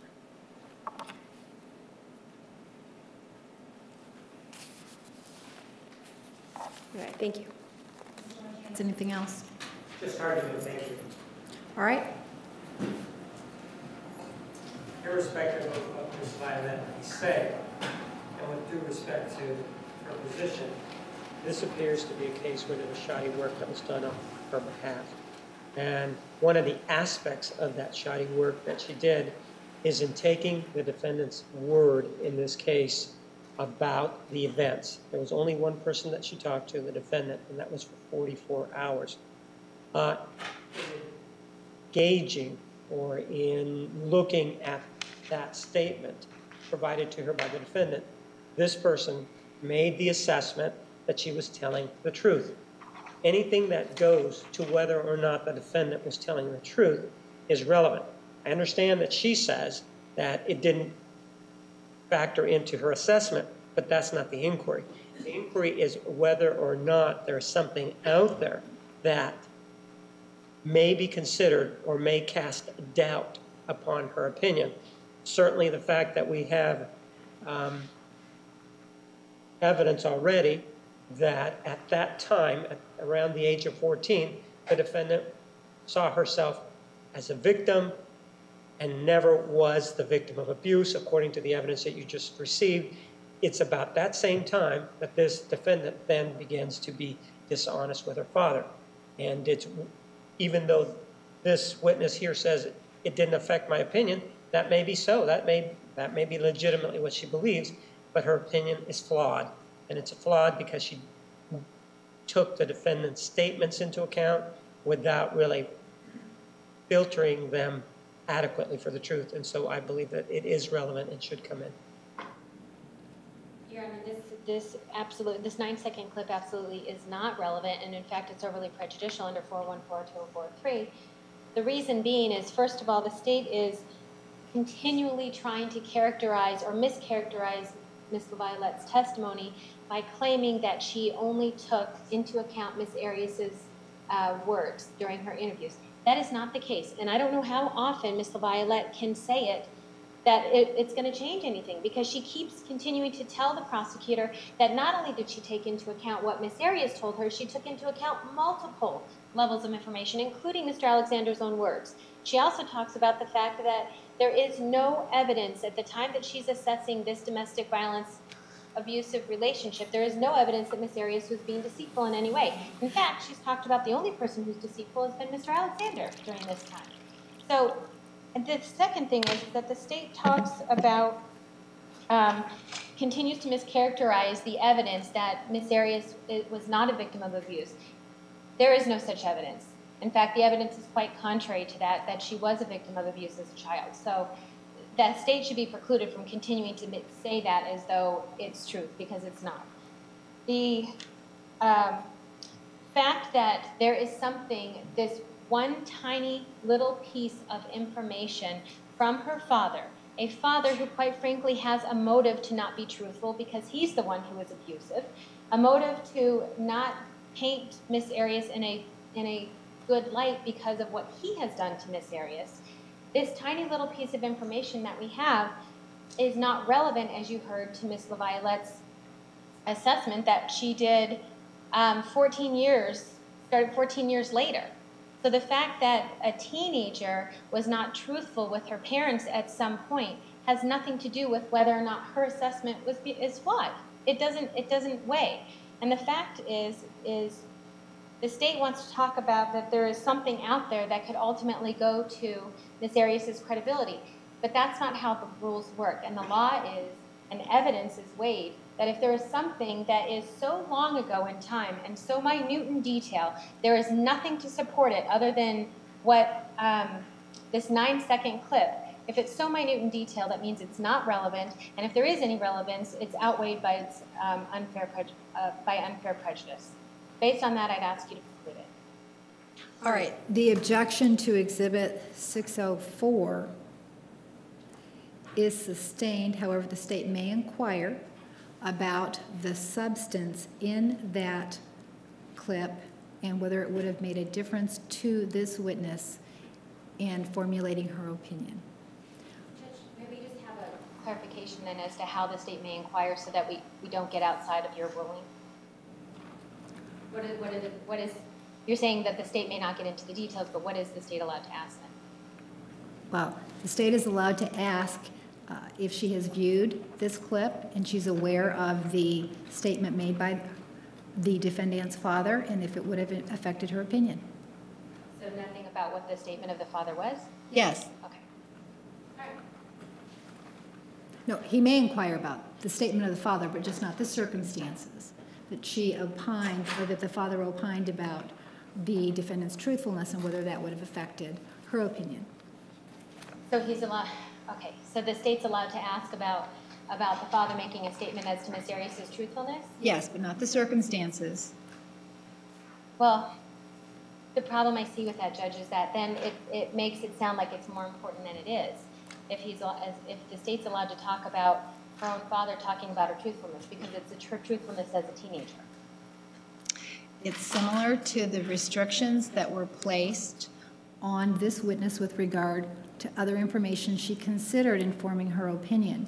If you're going, if you're not going to object to the prosecutor putting in the tape or having her explain it, then that can happen. But I believe that the state is entitled to question the witness about this aspect in light of her prior testimony regarding what she considered important in forming her opinion about the defendant's truthfulness or credibility.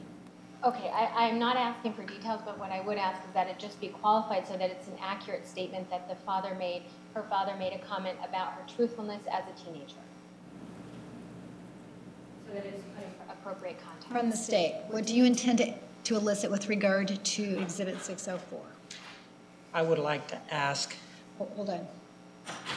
Go ahead. if she has reviewed this clip, and that this clip indicates or involves the father, and that the father uh, has questions as to whether, as to the defendant's truthfulness, uh, and that this statement involves the defendant at the age of 14. That's fine, Judge.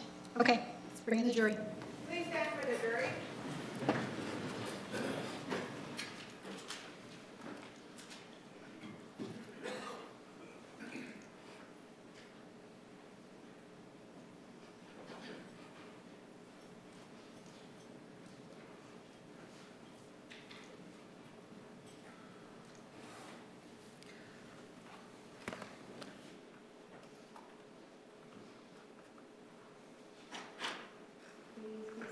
Record will show the presence of the jury, the defendant, and all counsel. Mr. Martinez, you may continue. Ma'am, um, you've had a chance to review a statement by uh, the defendant's father to Detective Flores, correct? Correct. And specifically, you have had a chance to review a portion of that statement involving the father's um, characterization of his daughter in truth of her, in terms of her truthfulness, correct? Correct. And he, and there is an issue with regard to her truthfulness with regard to the father, correct, involving the defendant? Correct. And this issue that he has with her truthfulness is referenced with regard to the age of 14, correct, and onward. Correct. The issue that we discussed previously involving the defendant being a victim uh, of a, portraying herself as a victim, even though there was no abuse, isn't it? Objection is to mischaracterizing the evidence. Approach, please.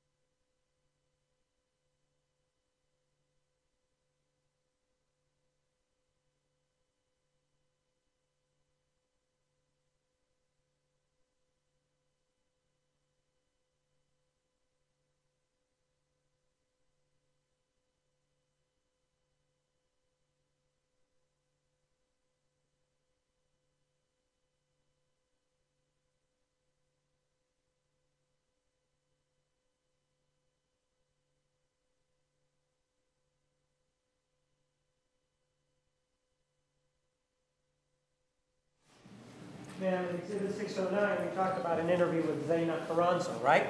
Correct. And she's the one that talks about whether or not the defendant likes to play the victim, right? Correct. And one of the things that you told us about this particular incident was that this was when they were teenagers that she was referencing this, correct? It was actually when she was younger than that. Well, you indicated previously when you testified that they were teenagers, yes or no? I thought they were teenagers. I was incorrect. Well, ma'am, isn't it true that that's what you told us previously? That's all I'm Yes, yes, it is true. And so this indication that you gave previously that they were teenagers is about the same time that the father made the statement about his daughter's lack of truthfulness, correct? Objection, foundation knowledge. Overruled. Right? I gave the wrong age, Mr. Martinez. I'm not asking you that, am I? Well, you're asking me to put those Ma'am. two things together, Mr. Martinez. Isn't it true that previously, before the break, and whatever it is that you did during the break, you took, Objection, argumentative. Sustained. previous to the break, you testified that this incident involving Zaina Carranzo occurred when they were teenagers, yes or no? Yes, I did testify to that. And isn't it true that the father's statement about the lack of truthfulness references the, the age of 14, correct? Yes, but I, I understand that, thank you. Now, ma'am, with regard to um, certain things, you also, you told us with regard to the interview that um, you did go back and you did talk to the defendant about certain things, right? Specifically the anal sex, right? I talked to her about the lubricant. No, But my question is, do you remember that we played the clip? And Yes. the clip involved anal sex, right? Right. And you told us before the break, well, I went back and I talked to her about the anal sex, right? I talked to her about the anal sex. And so you did go back then and you talked to her sometime afterwards, right? Specifically about the lubricant. When you say specifically of the lub- about the lubricant, you didn't talk to her about the anal sex then? I talked to her about who brought the lubricant, as you asked me in our interview, who brought the, that you thought was important, so I went back and asked her about who brought the lubricant for the anal sex. I, I'm, I'm not interested in who brought the lubricant right now. All I'm interested in your knowledge about the defendant's uh, dalliance or uh, activities in anal sex. That's what I'm interested in. All right. With regard to that particular activity, did you go back and address that issue with the defendant to get the specifics about that? Or did your prejudices prevent you from doing that? Objection argumentative. Sustained. Well, you said that you were old-fashioned, right? Yes. And did the fact, or was the fact that you were old-fashioned prevent you from going back and talking to the defendant about the various instances of anal sex With whom? with whomever she was having anal sex? There were different people that she tried, she tried anal sex. She didn't like it. And so Mr. my- Alexander, as far as I know, is the only person that she had repeated anal sex with. But my question to you is, did you go back and talk to her about her activities involving anal sex? Yes or no? I, I asked her about anal sex. Yes or no? Yes, I asked her about So anal you sex. went back, and after you went back to talk to her about anal sex, did you talk to her about the anal sex involving all these other individuals, or did you just talk to her about anal sex involving Mr. Alexander? Her, I talked to her about anal sex with other people. With regard to those other people, did she ever indicate to you that she had anal sex with Mr. Juarez? I did not talk to her about Mr. Juarez. So do you know whether or not she had anal sex with Mr. Juarez? No, I do not. Do you know? No, I do not. Would it be important in terms of this, to see who's assertive, to determine who initiated the anal sex, if she in fact had it with Mr. Juarez? Would that have been important to you? It's not important in assessing the domestic is no. violence. It's not important in assessing domestic violence, which is really what I was asked to do here. So the answer is no. The answer is no, correct? It would be irrelevant. Right. And with regard to Mr. McCartney, do you know whether or not she had anal sex with Mr. McCartney? She said, She said, she said that, that they had attempted anal sex and, and she didn't like it. how about with Mr. Brewer? Did you talk to her about having anal sex with Mr. Brewer? That they were experimented and tried it, and it was not something that either one of them pursued, nor did she pursue it with, with Mr. McCartney. But there was at least two, as far as you know, there were two attempts at it, correct? Is the way, is that what you're telling me? There were attempts. Right, I used the word attempt, so there were Yeah. two attempts, correct? Mhm. And they never went anywhere, I guess is, is the point. In other words, they, it wasn't consummated, for lack of a better term. It wasn't pursued. And they didn't go forward with it, right? They didn't continue having anal sex. Are you saying they only had it once and didn't continue having it? I don't know how many times they had it. That was not relevant. What was relevant was that it was not enjoyable and they did not continue it as a practice. And that illustrates that if there's an area out there to discuss and you don't think it's important, then you won't discuss it, right? If it doesn't feel relevant to the domestic violence aspect of it, because I was retained to look at domestic violence, that's what I did, Mr. Martinez. I looked at domestic violence. So if it doesn't feel relevant, then it's a feeling that you have about whether or not it's relevant. And if it doesn't feel relevant, then you don't pursue it, right?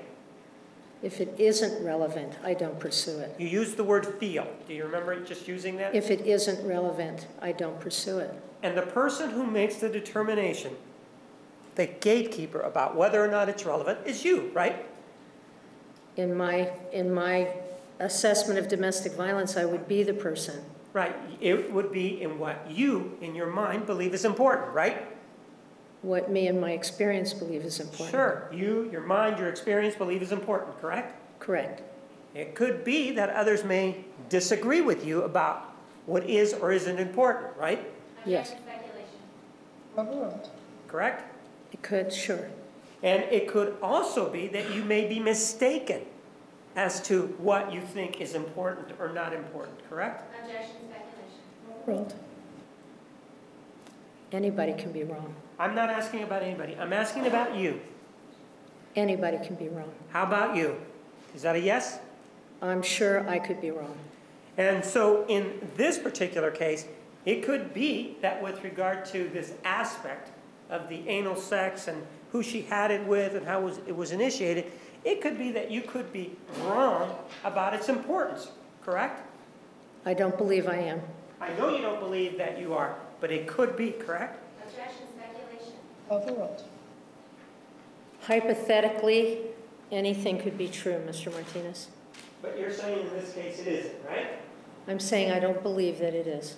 One of the other aspects that um, we discussed, or that you believe, is that there, you are aware of the telephone uh, conversation involving the defendant and Mr. Alexander, where they are involved in sex. Yes, And you indicated that you listened to that, correct? yes. Did you listen to it before or after my interview with you? I don't remember. But you listened to it, and um, it's your impression that that was tape recorded by Mr. Alexander, correct? Uh, I believe it was tape recorded by Miss Arias. Do you remember that you and I had a conversation about that, this interview back on, in November of 2000, and I'll give you the exact date, 2004, November November 4th. 14th of 2012. Do you remember that we had a conversation about that on November 14th of 2012? Yes, And during that time, we discussed who, your understanding of who had taped that conversation, right? yes. Do you remember that you gave me a different answer? You've got the paper there. Yes I've or got- no? I'm asking what you remember, ma'am. Do you remember I giving... don't remember, I don't remember. So the remember, answer is you don't remember giving me a different answer. I don't remember giving you a different answer, but I believe that what you've got on that paper is correct, and I could have, because I didn't know everything when I had that interview with you. Ma'am, you had already formed an opinion when I interviewed you back in November 14th of 2012, right? I f- I formed a partial, No, do you remember that we discussed it and you said that you already had an opinion? Do you I had an telling- opinion about domestic violence, and yes, I did. And in fact, you, do you know what date this trial started? Objection, relevance, argumentative. Overruled. Oh. Do you know? What date this trial started? Right. It started at the beginning of this year. No, didn't jury, sele- do you know? Well, that? jury selection started in December, Of what year? last year, What year? Give us, is it 2012? 2012. Right. And in December, barely a month before this trial was to start, you and I discussed your opinion, didn't we? In November, Yes, about a month before this trial was to start, right? yes. And during that time, you gave me all the information that you had at that point, didn't you? Exactly. So what you're saying is you had already done all of this work. You already had reached your opinion, and yet you then went and did some other work? I did some other work. Why is it that when you spoke to me, you already had the uh, impression, or not the impression, the opinion, that the defendant was a victim of domestic violence? Because I had read numerous, what, in the paper, and I'm not sure which is the IM and which is the text. I You had read re- material. I had read a lot of written material. I had looked at a lot of the collateral, I read, read the collateral data, and I believed I had enough information but I hadn't read everything. I, I think I hadn't read some of the text messages or something. I hadn't read everything. But if you already had an opinion, then what's the purpose of going to continue doing an assessment in this case after the prosec, if, after you and the prosecutor had an interview? Because the more information I can get, the better. And if I find confounding, uh, confounding information or I find something, but the more information I have, the better to create a better context. So I continue to collect information as long as I can. So are you saying that when you spoke to the prosecutor in November 2012, you were unprepared to give an opinion as to whether or not the defendant uh, suffered from domestic violence in this case? No, I didn't say that. Your opinion was complete when we spoke. You said, isn't it true, that in your opinion, the defendant was the victim of domestic violence, right? Correct. And you had reviewed whatever it was that you had reviewed up to that time, right? Correct. And you had looked at all of the corroboration that you, that was, that you had taken a look at, right? Correct. And based on all of that, you and I had this discussion, right? Yes, we did. And it's an absolute opinion that you had. In other words, you weren't waffling when you spoke to the prosecutor about this. You were certain of your opinion back in November 2012, right? Yes, I was. If you're already certain about your opinion when you're talking to the prosecutor, what's the purpose of going back? Well, let me do, there is no purpose served in going back and doing more work on this case if you already have an opinion, is there? There is to me.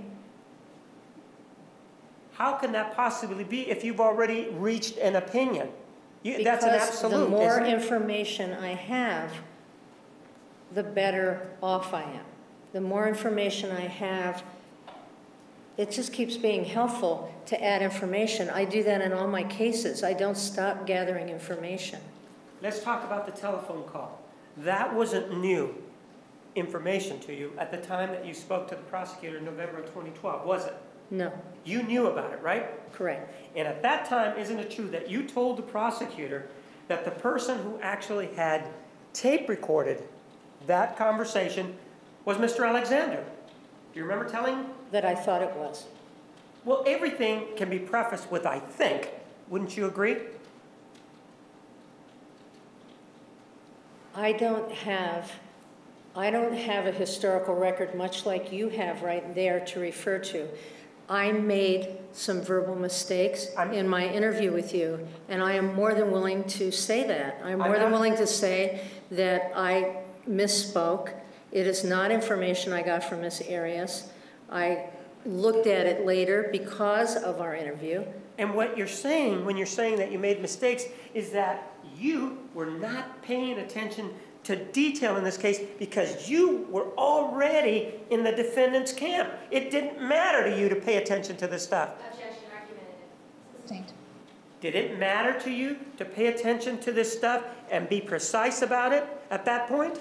What mattered to me, Mr. Martinez, Yes or no? Martinez, what mattered was context, Mr. Martinez. Yes or The no? big picture mattered to me, Mr. Martinez, the big picture. All of the evidence. Does the date matter to me? Not as much as what Objection happens. responsive. I'm asking you about a telephone call. I'm not asking you about the date of the telephone call, am I? No, you're not. I'm asking about your knowledge as to who recorded it, right? And I have answered that. You've answered it, but you've also said that you made a mistake, right? I made a mistake and who made the recording? Yes, I did. And did. if you made a mistake about that, something that, that in your review of all of this case, isn't it true that that is the only piece of evidence that we have where Mr. Alexander is actually present and you can actually hear what he's saying, right? Where I can actually hear his voice? Yes. Yes. And you're the person that told us that in terms of the clinical interview and people talking, 90% is body language, uh, right? You told us that previously, right? Right? If we can't get the body language, at least you can get the inflections from that telephone call, can't you? Yes, That's better than looking at a text message where you claim that Mr. Alexander may have been mistaken when he wrote down a name, right? there are lots of text messages. Ma'am, we discussed a text message yesterday. Do you remember that? In which Yes. you indicated that you thought that Mr. Alexander had written the wrong name. Do you remember that? Yes, So this telephone call is much better evidence, if you will, because you can see the, or hear the interaction between the two of them, right? that doesn't necessarily make it better. It makes it different, but it doesn't necessarily make it better. So you would rather have a written document than a recorded conversation, is what you're saying? I'm saying that a recorded sex tape does not necessarily have to be accurate, any more accurate, but when you look at a compilation, a lot of text messages, a lot of IMs, a lot of Gmails, that you get a lot more information. I'm not denying that it was important to hear his voice and to hear the exchange. And in terms of the comparative analysis between that exchange between the defendant and Mr. Alexander, the person she ultimately killed, you're saying that that information there is as good or maybe less than as good as something in writing? Objection is characterized under testimony. Overruled, you may answer. Can you repeat the question? Which is better, this tape recorded conversation or a text message? Which, Has to be answered. Overruled. which one? I can't say which is better. In your assessment in this case, you can't say which one is better, right? I'm saying that there's a, there's a large number of text messages. There's a large number of IMs. There is one sex tape that I listen to. So if you ask me to weigh and ask me what's more important, I'd have to say they're important, but I have to take all of that information in. And that's how you approach this case, where you have something that's as vital as Mr. Alexander talking. When you have Mr. Alexander talking, you can hear in, in the tone of his voice whether he's happy or unhappy, can't you? Whether he's happy or unhappy, Right? You can hear what he presents, certainly. Well, it's what he presents, but you're, one of the things that you did is you talked to the defendant and she presented evidence to you by talking to you, right? Correct? So now, when Mr. Alexander is talking, he's presenting to you. He doesn't know it, but he's presenting to you, right? Yes, he is. And that's even better than what the defendant is presenting to you because he doesn't have the issue of secondary gain there, does he? It depends on how you look at it. Well, no, I'm asking about your definition of secondary gain. Do you remember we talked about that previously? Secondary gain? I certainly do. That if it's within the individual's uh, point of view that something is going to be beneficial to them, then there's this issue that they may be deceitful, right? There's secondary gain in a sex tape. I'm not asking you about that right now. We're talking to about secondary gain, just itself, correct? Well, And- secondary gain, secondary gain is not only part of whether somebody is going to get something from an expert witness or an attorney. Secondary gain also implies um, what you're going to get when you're having a sexual encounter with somebody. So- So there's, So you're equating, in this case, an individual who is charged with a very serious crime with somebody who maybe, maybe talking about masturbation? You're equating that and saying, well, they both have the same reason. I To be not, deceitful. I did not say that. Well, that's what you indicated. Are you saying that Mr. Alexander, when he was speaking with the defendant, was in the same relationship as you were with the defendant when you were speaking to her? If you were in my group, I would ask you to take a timeout, Mr. Martinez. Judge, would you please admonish the witness to Yes. withhold those comments and ask that the Ms. jury LaViolette. disregard the outburst? Yes. Ladies and gentlemen, disregard the witness's last statement. Ms. LaViolette, please just answer the questions. Isn't it true, ma'am, that the relationship between you and Mr. and Miss Arias when you were asking the questions and you were talking to her is different than the relationship between Mr. Alexander and the defendant when they were having this telephone conversation back on May 10th of 2008. Yes, it is. They were being intimate in that conversation, weren't they? They were being sexual. I don't know how intimate they were being. They were being tender to each other, weren't they? There was a tenderness. And there was a feeling, if you will, that they were getting along there, correct? Correct. There was no indication from the tape itself that Miss Arias wasn't enjoying herself as much as Mr. Alexander, right?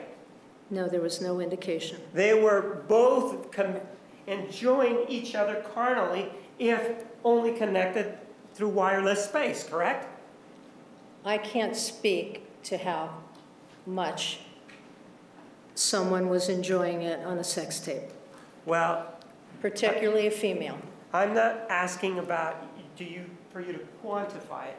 There is, there are indications there that Miss Arias is having a- an orgasm on two occasions, right? Correct. So she has an orgasm on two occasions, and he has an orgasm on one occasion, right? Yes. So, on, based on that, it is clear that they're enjoying each other, correct? Objection, speculation. Overruled. Have you seen When Harry Met Sally?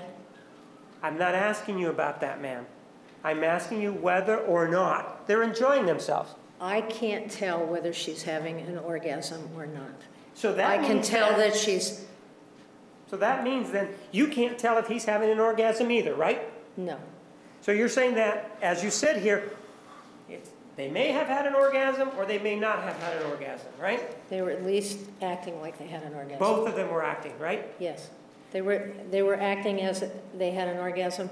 I don't know what they had. But there's really no indication from any collateral source that, for example, the defendant was not having an orgasm. You don't have any information from any other source that says she wasn't, right? No, I don't.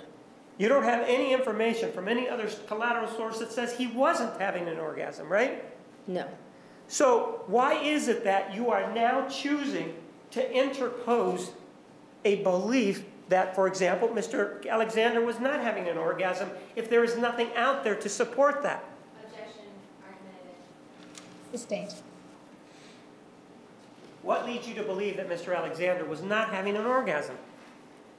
You know, once again, my expertise is in domestic violence, not in orgasms. Then And- why did you answer the question you, the way you did if you're not an expert in orgasms? Because you ask me questions so quickly, and I really should stand back and think about them, because those questions are not within the sphere of what I actually was retained to do, which was assess domestic violence. Or it could be that, as you sit out there, you're advocating on behalf of the defendant and you're only presenting things that benefit her. Objection.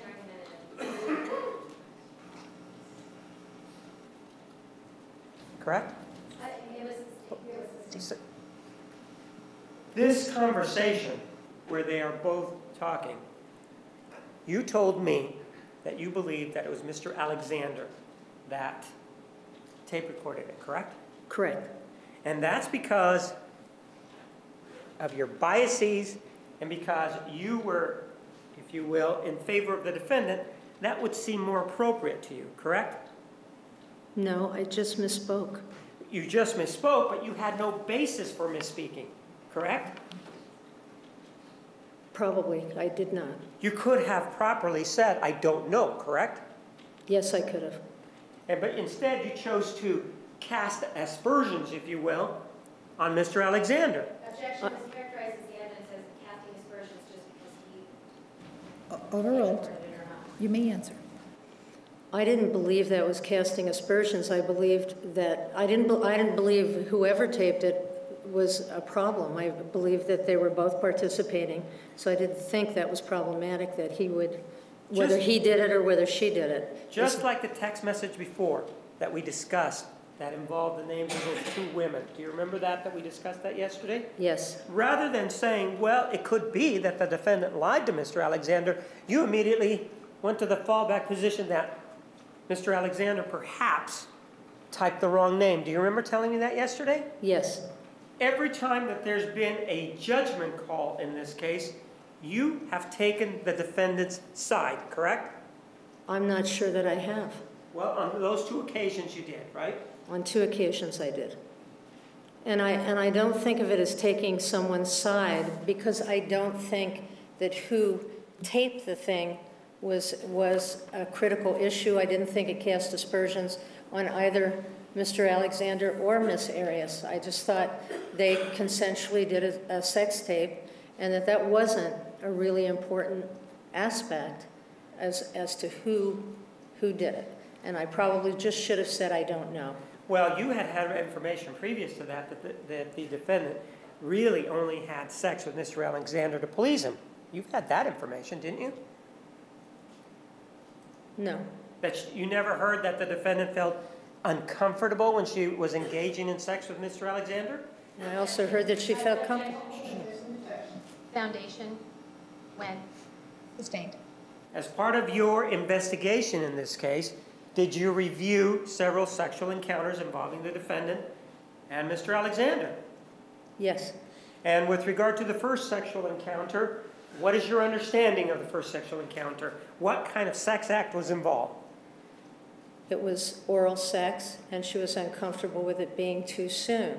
Ma'am, so it was oral sex and she was uncomfortable with it being too soon. Where did this oral sex take place? The oral sex took place um, in the, the home of the Hughes. And that's the first time that they ever had this oral sex, right? As, yes, With regard to this oral sex, you said, well, she felt uncomfortable, right? yes. So if we then listen to the tape, was there any indication there that she was uncomfortable with any of the phrases that were being used? Objection as to foundation when the tape was actually made. Approach, please.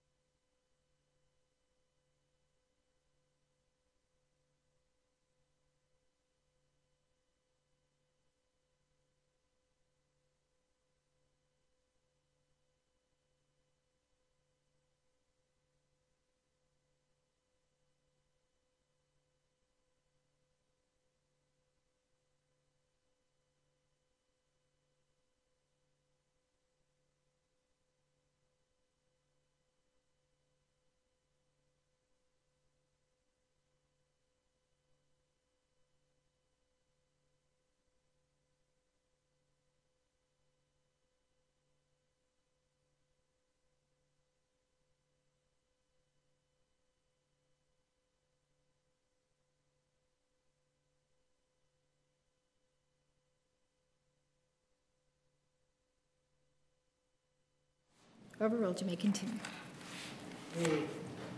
Your assessment of the tape, you don't see anything indicating that she, the uh, defendant is uncomfortable in any way, do you? You mean seven months later? No, I mean on May 10th of 2008. So- Seven, seven Seven- months after she said she was uncomfortable? All right, if you want to say seven months after she was uncomfortable, let's go with seven months. Yeah, seven months after she was uncomfortable. I don't see discomfort in, in the tape on- of 510, if that's what you're asking. And, and ma'am, just for the purposes of the math here, if that happened in May of 2008, would you agree then that uh, seven months before that would be November of 2007, correct? Correct. Oh, And- no, Nove, I'm sorry, November. so- so It was November of uh, 2006 when they first had the sexual encounter, so it's quite a bit prior to that. Part of the reason that I point that out is that it appears that you seem to jump to um, a conclusion when, when you're answering these questions, and, and, and like in this case, you were mistaken, wouldn't you agree? Objection argumentative. Overruled. That I gave the wrong date, the seven months? You were, you were mistaken, weren't you? Yes, and I remembered quickly that it was November 6th. No, you didn't remember quickly. Actually, the prosecutor prompted you, correct? Objection, relevance, argumentative. Overruled. Isn't that how it worked? I didn't feel prompted by you, but, uh, okay, if you want to Well, prompt me, no. that's fine. Didn't the prosecutor indicate to you, May 2008, and just for purposes of clarification, he then indicated it was November 2007. Do you remember that exchange And just now? then, yes, and then I said. Yes or no? Then Yes or no? I said. Thank you. Yes. Thank you. Now, ma'am, one of the other things about the interview that you had with the defendant is that you had these issues with regard to what she told you, but you also prompted her with leading questions, didn't you? I don't believe I did. You pro, you suggested some answers, didn't you? Objection, foundation, and bait. Are you talking about, Objection overruled. You may answer yes or no. I, I don't, I mean, I interviewed her over 44 hours, so I'm not sure. I try very diffi, or very hard not to lead people. Well, do you remember that with regard to her, one of the things involving sex was that you had an issue or a question as to whether or not the defendant or, or Mr., or the defendant, yes, isn't it true that you wanted to know from Miss Al, from Miss Arias whether or not she used sex to quell his anger? That is your question, right? Yes, And those are your words, right? yes, but I think she had already mentioned that to me, and Well- just, If she had already mentioned it to you, then why did you feel the need to ask her about it? You know, that was a long time ago. I'm- Well, then I don't- maybe we I can- don't know. I, Well, I then- really don't know. I can't tell you. Let's take a look at your notes about what you wanted to ask her. All right. Objection, judgment, proper uh, Overruled.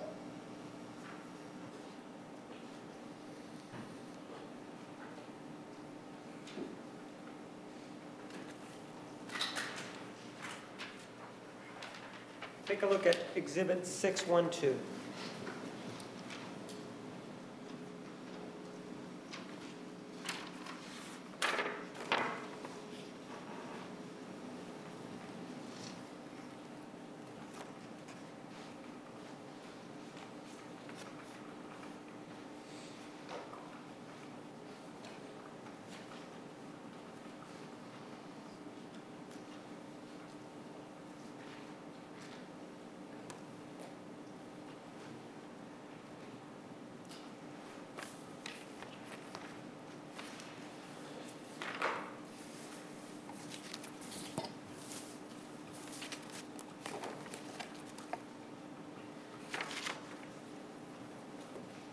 Recognize the writing there? Sure. That's your writing, correct? Yes, it is.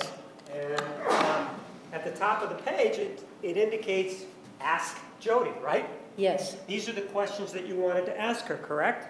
correct. And in fact, there are more than one or two questions there, correct? Yes, yes, And, and none of these questions, if you will, have a question mark after them, do they? No, I, I guess not. Well, no, let's just take a look at the first one read that. And, well, just read the whole document to see there are no question marks there.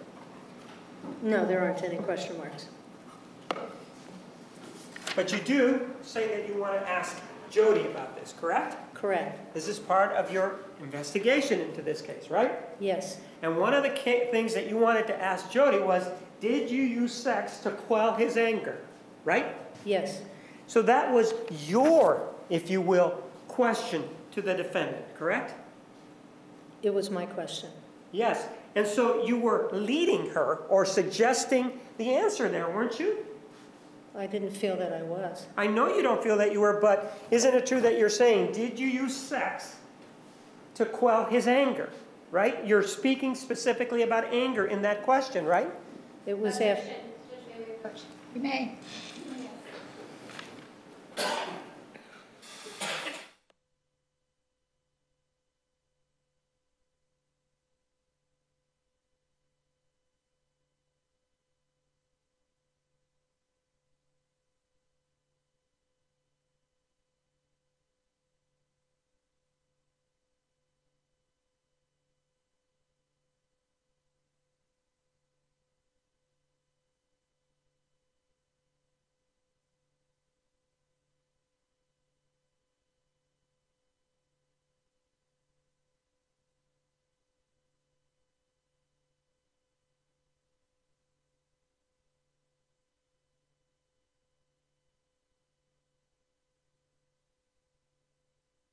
Continue. Isn't it true that you were suggesting the answer there when you were talking about anger? I was basing it on information that I had gotten from journals and other information, and I was putting it together, and I was asking the question because it appeared that that was happening. Y- So But- the answer is. So I asked, I did ask that question. I Yeah, did ask yes that or no, you, s- i- the- you, isn't it true then, that you did suggest the answer of, did you use sex to quell his anger? You suggested an answer there, right? Objection, asked and answered. I guess I did. And you also asked whether or not distress to Travis means sex, right? I believe that might have been an answer and not, and that was an answer to that question, not a, um, not a question. Actually, that's not the way it's written. Take a look at um, the way it's written. It said distress to Travis meant sex. I think that is the answer to that question. And at the top of this page, it also says, ask Jodi, right? Right, but you, Yes or no? It does say that at the top, right? they weren't all questions. I, I do sort of stream of consciousness, so I don't, I ask Jodi questions, I get answers, I might put them on the same page. I just want to clarify that. How is it that you are saying that you are putting some other questions on this page, other answers on this page, when they're clearly all questions here? Objection, mischaracterizes with Her testimony. Oh, You may answer. Right under, did you use, did he use, or did you use um, sex to quell his anger? I have an answer, distress to Travis meant, meant sex. That was an answer to that question. So you provided your own answer to the question then? That's what you're saying, No, mischaracterizes Her. Overruled. You may answer. right? it was a question I asked Ms. Arias, and so I, I write on, on the papers that I write questions on, I write answers on, I write other things on. So it's not clearly just all questions, it's not clearly just all answers. I intersperse things. Ma'am, isn't it true that at the top of this page it says, ask Jodi, correct? Correct, And then there are a number of writings underneath there, right? correct. You're not saying that as you're sitting there talking to the defendant, you're writing down, ask Jody, are you? No, I'm not. This is something that was done in advance, isn't it? The question was, yes, This document was done in advance, wasn't it? yes. And so when you say that, well, I write the responses, how could the responses be there if you're doing this document in advance? I wasn't doing all the, Mr. Martinez, Yes or no? Yes or no? Was, isn't it true that all of these questions were written in advance? Judge, the, the original Question question was not a yes or no question. Or did not request a yes or no answer. All right. Your objection is noted. Overruled. You may answer the question. the question is correct. I Thank you. Thank you. Now, one of the other things that you told us is that you reviewed all of the, or a lot of the defendant's journals, right? yes, And that um, these journals, if you will, were guided by this law that she believed in, that if you, when you write something in there, that you should write something positive and not anything negative, correct? that you should try to focus on the positive. Right. And what's that law called again? The law of attraction. So this law of attraction, according to you, uh, the way that, and you've had some information that you received upside and apart from what the defendant gave you, correct? Well, I watched The Secret, that's it. So The Secret is a movie, right? Correct. And in it, it talks about, or it is about the law of attraction, right? Yes, and says, there's a documentary, and I don't remember the name of that. But you didn't watch the documentary, correct? No, I watched the documentary as well. Oh, you did. And then you also spoke to the defendant about the law of attraction, correct? Correct, And that is what encompasses your knowledge of the law of attraction, correct? correct. And the law of attraction, as you've defined it for me, is that if you write something positive, positive things will happen, correct? No, not, it's not that simple. Go ahead and tell me what you believe the law of attraction is. That that's part of it, that the energy you put out in a positive way comes back to you. So you should think in a positive way, write in a positive way. Um, and this was a, a documentary done by physicists, and they were talking about positive energy and all of the energy, you know, the energy coming back to you. And one of the things you just mentioned to us is writing in a positive way, right? Correct. And so, for example, this is what you applied in reading the defendant's journals, that she was influenced by this law of attraction, correct? Correct. And so that, according to you, she wouldn't write anything negative in that journal because it would go against the law of attraction, right? No, I didn't say that. Well, isn't it true that we talked about, or you talked to the defense counsel about situations as to whether or not there was anything negative about Mr. Alexander? Do you remember talking about that? Yes, and there were And- several things that yes. were negative. And you also were asked about certain events that occurred in their life. For example, when she alleges that he hit her. Do you remember Yes. that? Yes, And you said, well, because of the law of attraction, it made sense to you that those wouldn't be written in the journal, right? yes, I, I believe I, I, I don't think that's the only reason, but yes, That's part of the reason. And, Sure. and uh, it, based on what you know about the law of attraction, you would not expect her to write anything negative in her journals because it would be contrary to that law of attraction, right? No, I would expect that even when you have a philosophy of the law of attraction, that you're not always able to maintain it. Okay, so in this case, though, with regard to writing negative things, you did not find anything in those journals indicating that Mr. Alexander ever laid a finger on the defendant, correct? Objection is characterized as your testimony. Overruled, you may answer. Correct? Correct. But you still believe the defendant, though, right? Based, That- based on other things. And those things are her statements, right? Those things are Mr. Well, no, no, no, let's do it. You believe it in part because of her statements, right? 'Cause In you had part. com- You also believe it in part because of the law of attraction, right? I believe that, that she didn't write in it because of the law of attraction, or I believe That she he was- never laid a finger on her. You believe that the reason she didn't write these things in her journal, as you explained it on direct examination, is because in part, she's an adherent to the law of attraction, correct? Correct. And that's how you tried, or that's how you went behind, if you will, the written word, correct? Objection argumentative. Overruled. I believed that that was a reason she didn't write in her journal. Right, and that's why you went behind the words that indicated otherwise, right? The words never indicated that he ever hit her, correct? Correct, The words never indicated that he ever choked her, correct? correct. The words never indicated uh, any other physical act towards her, correct? Indicated cruel behavior, but I don't know what that was, I, I don't know what that meant. I'm talking about acts. For example, did they Cruel never... behavior would be an act. With regard to that, there was no indication that he ever hit her. Where is your understanding that he hit her on the day that she indicated that she was leaving? I have no indication other than her word. And, right, and what did she tell you?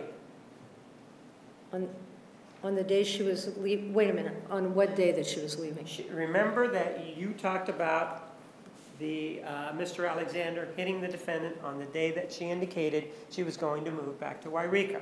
Correct. Where did he hit her? He hit her on the jaw, on the, And, and that's the, and you got that information from the defendant, correct? correct. Um, Do you know somebody by the name of uh, Dan Freeman? Yes. Uh, And you're, Well, I don't know him, I just read a statement. I don't know him. and with regard to Dan Freeman, you know that he's somebody that's a friend to the defendant, right? Correct. And in that story that we're talking about, the one where she tells him she's going to go to Yreka, and there's this, it appears to be a backhand, correct? Correct. Uh, He s- strikes out and lashes at her because he doesn't want her to leave, correct? Correct. Objection, speculation. As to Mr. Alexander, his reasoning behind hitting. Sustained. Well, isn't that what the defendant told you? That Mr. Alexander hit her because she told him that she was going to go to Yreka. And that he was upset about it. Right, that's what she, that's what she told you, right? Correct. You- Again, my question to Dan Freeman, uh, do you know whether or not Mr. Freeman had a conversation with Mr. Alexander prior to this incident about whether or not Mr. Alexander wanted Miss Arias to even be around in the Mesa area? I have no information on that. Would it be important to get that side of the story if, hypothetically speaking, Mr. Freeman were to have testified that it was actually Mr. Alexander that was, that had to have the talk with the defendant about breaking up and leaving? That would be information that I would like to have. Let's assume that that's the hypothetical, that Mr. Alexander actually didn't want anything else to do with the defendant, and he's the one that's pushing her away and telling her to leave. Objection is characterized as testimony. Oh, Overruled. Let's assume that. And assume that it's Mr. Alexander that's telling her that he wants her to leave.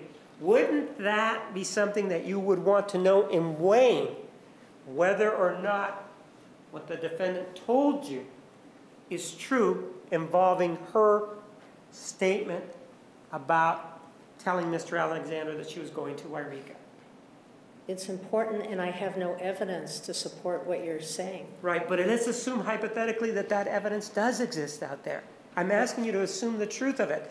Assume Well, You're, that, you're asking me to assume a hypothetical that I have no evidence of. Is that correct? and I'm assuming that, and I'm asking you to assume that hypothetical because that person, let's say, came into this court and said that. All right? Assume that. If all of that were true, wouldn't that cause a problem in your assessment of this case? Because now, at least, as to this alleged incident, it doesn't seem to be true. It would be important for me to have that information. You have that information. Now what are you going to do with it? What am I going to do with it? Yes, in terms of your opinion, does that Does- give you a sense of pause in the firmness of your opinion? It gives me information that I have to look at, that I have to check out. Does it globally change the picture of domestic violence in regard to the evidence that I have reviewed and seen? It doesn't mean that there was no domestic violence. So what you're saying, your opinion that changes not, even though you have, you, that new information were to be provided to you, right? That, that Mr. Alexander wanted Miss Arias to leave? Yes, and go back to Yreka. There's also no evidence of that. I'm not saying that there's no evidence of that. I'm asking you to assume that Daniel Freeman came into this courtroom and said that, that he was there. If you had that, would that give you pause in terms of your opinion? I would, Yes or no? it's not a yes or no question, Okay, then we'll move on. Martinez. Now, with regard to this fight, do you remember about the, tri- that you told us about the trip to Havasupai? Correct, And you spoke to the defendant about it, right? correct. And what was her version of the trip to Havasupai? Why don't you tell us what you know about the trip to Havasupai and tell us who started it, if there was a fight? There was an, an argument Between whom? between Miss Arias and Mr. Alexander. Where did it start? I don't know where it started. Uh, do you know how it started? There, I read two things. I read Sure. something that, that the Freemans wrote, but I would like to look at uh, the information in Well, I- I- the journal, because I got the information from a journal that I read, and uh, the specifics of that information. I can tell you the gist of that information. Why don't you give me the gist of that information? The gist of that information was they had a fight, they had an argument. Um, in fact, Lisa Andrews said he, he was very negative, that she thought he was overly negative reporting that trip. I'm according asking, to I'm just asking, ma'am, I'm just asking about the trip itself. I don't want all this collateral uh, information that you want to provide. Okay. I want to know, for example, who started the fight, what was said during the fight, how long the fight lasted, and whether or not the defendant made any comments about the fight in her journal. That's sort of the information what I'm, that I'm looking at in the Objection, Judge, he just asked for the gist. If- if He's going to go into detail, then the witness is requested to be able to review the documents. All right, we're going to take the afternoon recess at this time, ladies and gentlemen. Uh, Before I release you for the afternoon break,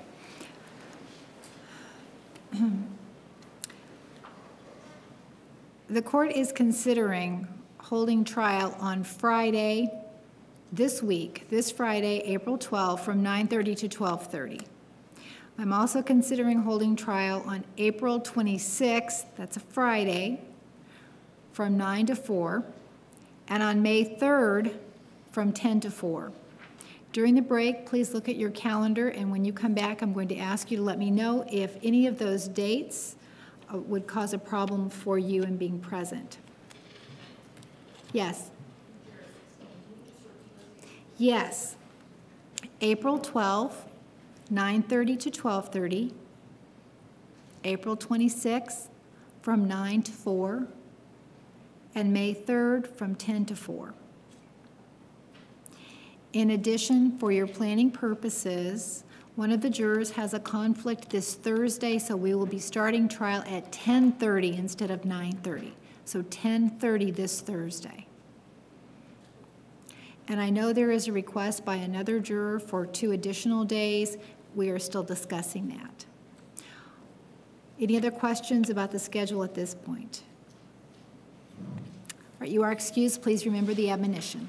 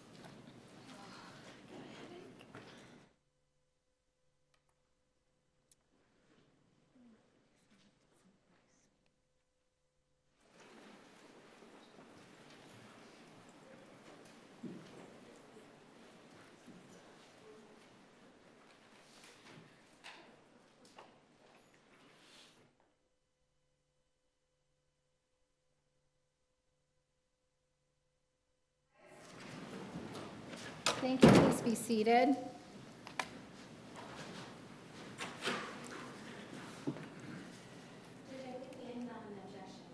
Yes, why don't you approach, please?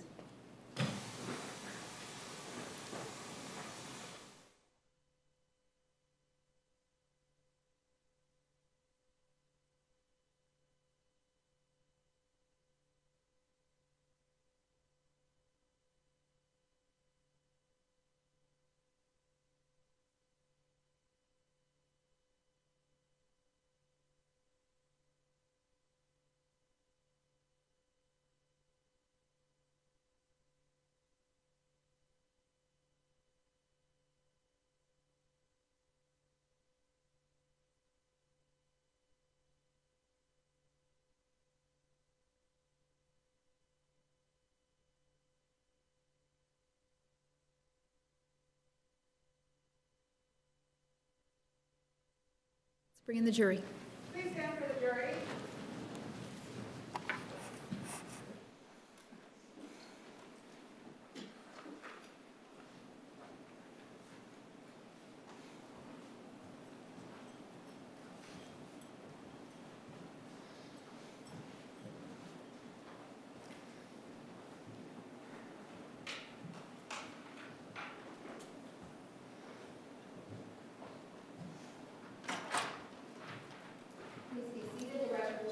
presence of the jury, the defendant and all counsel. Mr. Martinez, you may continue. Ma'am, I want you to look at uh, exhibit number 242.001 and go to the entry dated Thursday, September 13th, 2007. Read it. When you're done reading it, you let me know.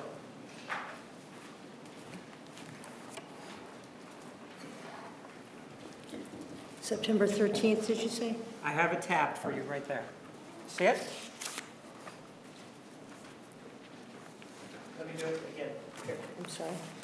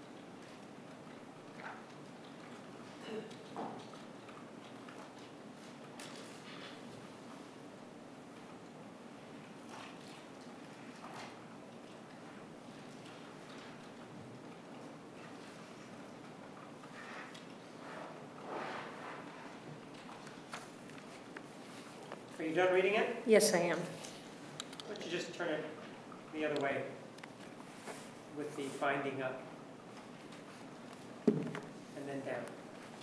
Well, that's all right. Anyway, with regard to that, does that, you- that is something that you read as part of your uh, investigation into this case, right? Correct. And it's something that you remember reading, right? Yes, And it is something that you used in uh, reaching whatever assessment you reached in this particular case, right? Yes, And one of the things that uh, that talks about is a trip to Havasupai, right? correct, And it references a number of people going with them to Havasupai, correct? correct. It's the defendant who goes, one of the people, right? Yes, Uh, One of the other people is Travis Alexander, correct? yes, Somebody by the name of Daniel Freeman also goes, correct? yes, And Desiree Freeman, right? yes, And there's some writing there, and this is written by the defendant, correct? correct, That's your understanding of it, right? yes, And these are, this is part of the corroboration that you used in reaching your assessment, right?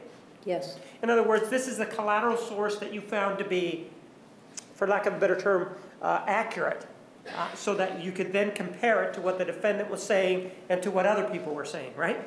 I didn't consider this a collateral source. So it, it's a primary source then, right? It's a, it's a source from the, the defendant. So you consider that to be a primary source then, right? No, I look at collaterals as just other people other than the defendant, not that it's better or worse, but that it's, And in this, and in this particular entry, the defendant bemoans the fact that things are not starting out, did not start out very well on the trip to Havasupai, correct? correct, And um, she indicated there were some tense moments there at the beginning, right? yes, And then she also indicated that Mr. Alexander apologized, correct? Correct, And she said that, uh, according to her, that he was 90% uh, uh, responsible for the argument, right? yes. That of he said he was. yeah. Pardon?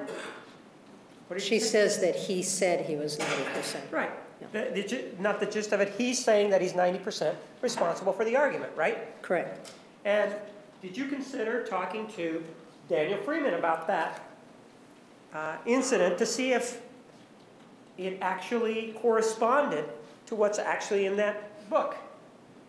I read the, the Freeman statements, but I. So the answer is no, you did not talk to him, correct? I did not talk to him. And, and that being the case, you are left with that rendition there as something that, in your view, since it's a primary source, is something that's truthful, correct? It's something that I took to be truthful, yes. Right. And if it's truthful, though, would it, would it cause you to reevaluate how you viewed all of these entries in the journal if it were found that perhaps that entry was not accurate? Would it cause you any problems? This is this a hypothetical? Let's assume that it's a reality and that, uh, that whatever's out there indicates that what's in that journal is not accurate. It's not, you took it to be truthful. Now find out that perhaps that's not what happened. Would that cause you any problems? Sure. And it would cause you problems with regard to the, all the other entries, right? Depending on what I had collaboration Sure. to defend. But if you only had the journal entries and one of them turns out to be untrue, it could then be, if you will, a cancer that is spread throughout all of these journals, right?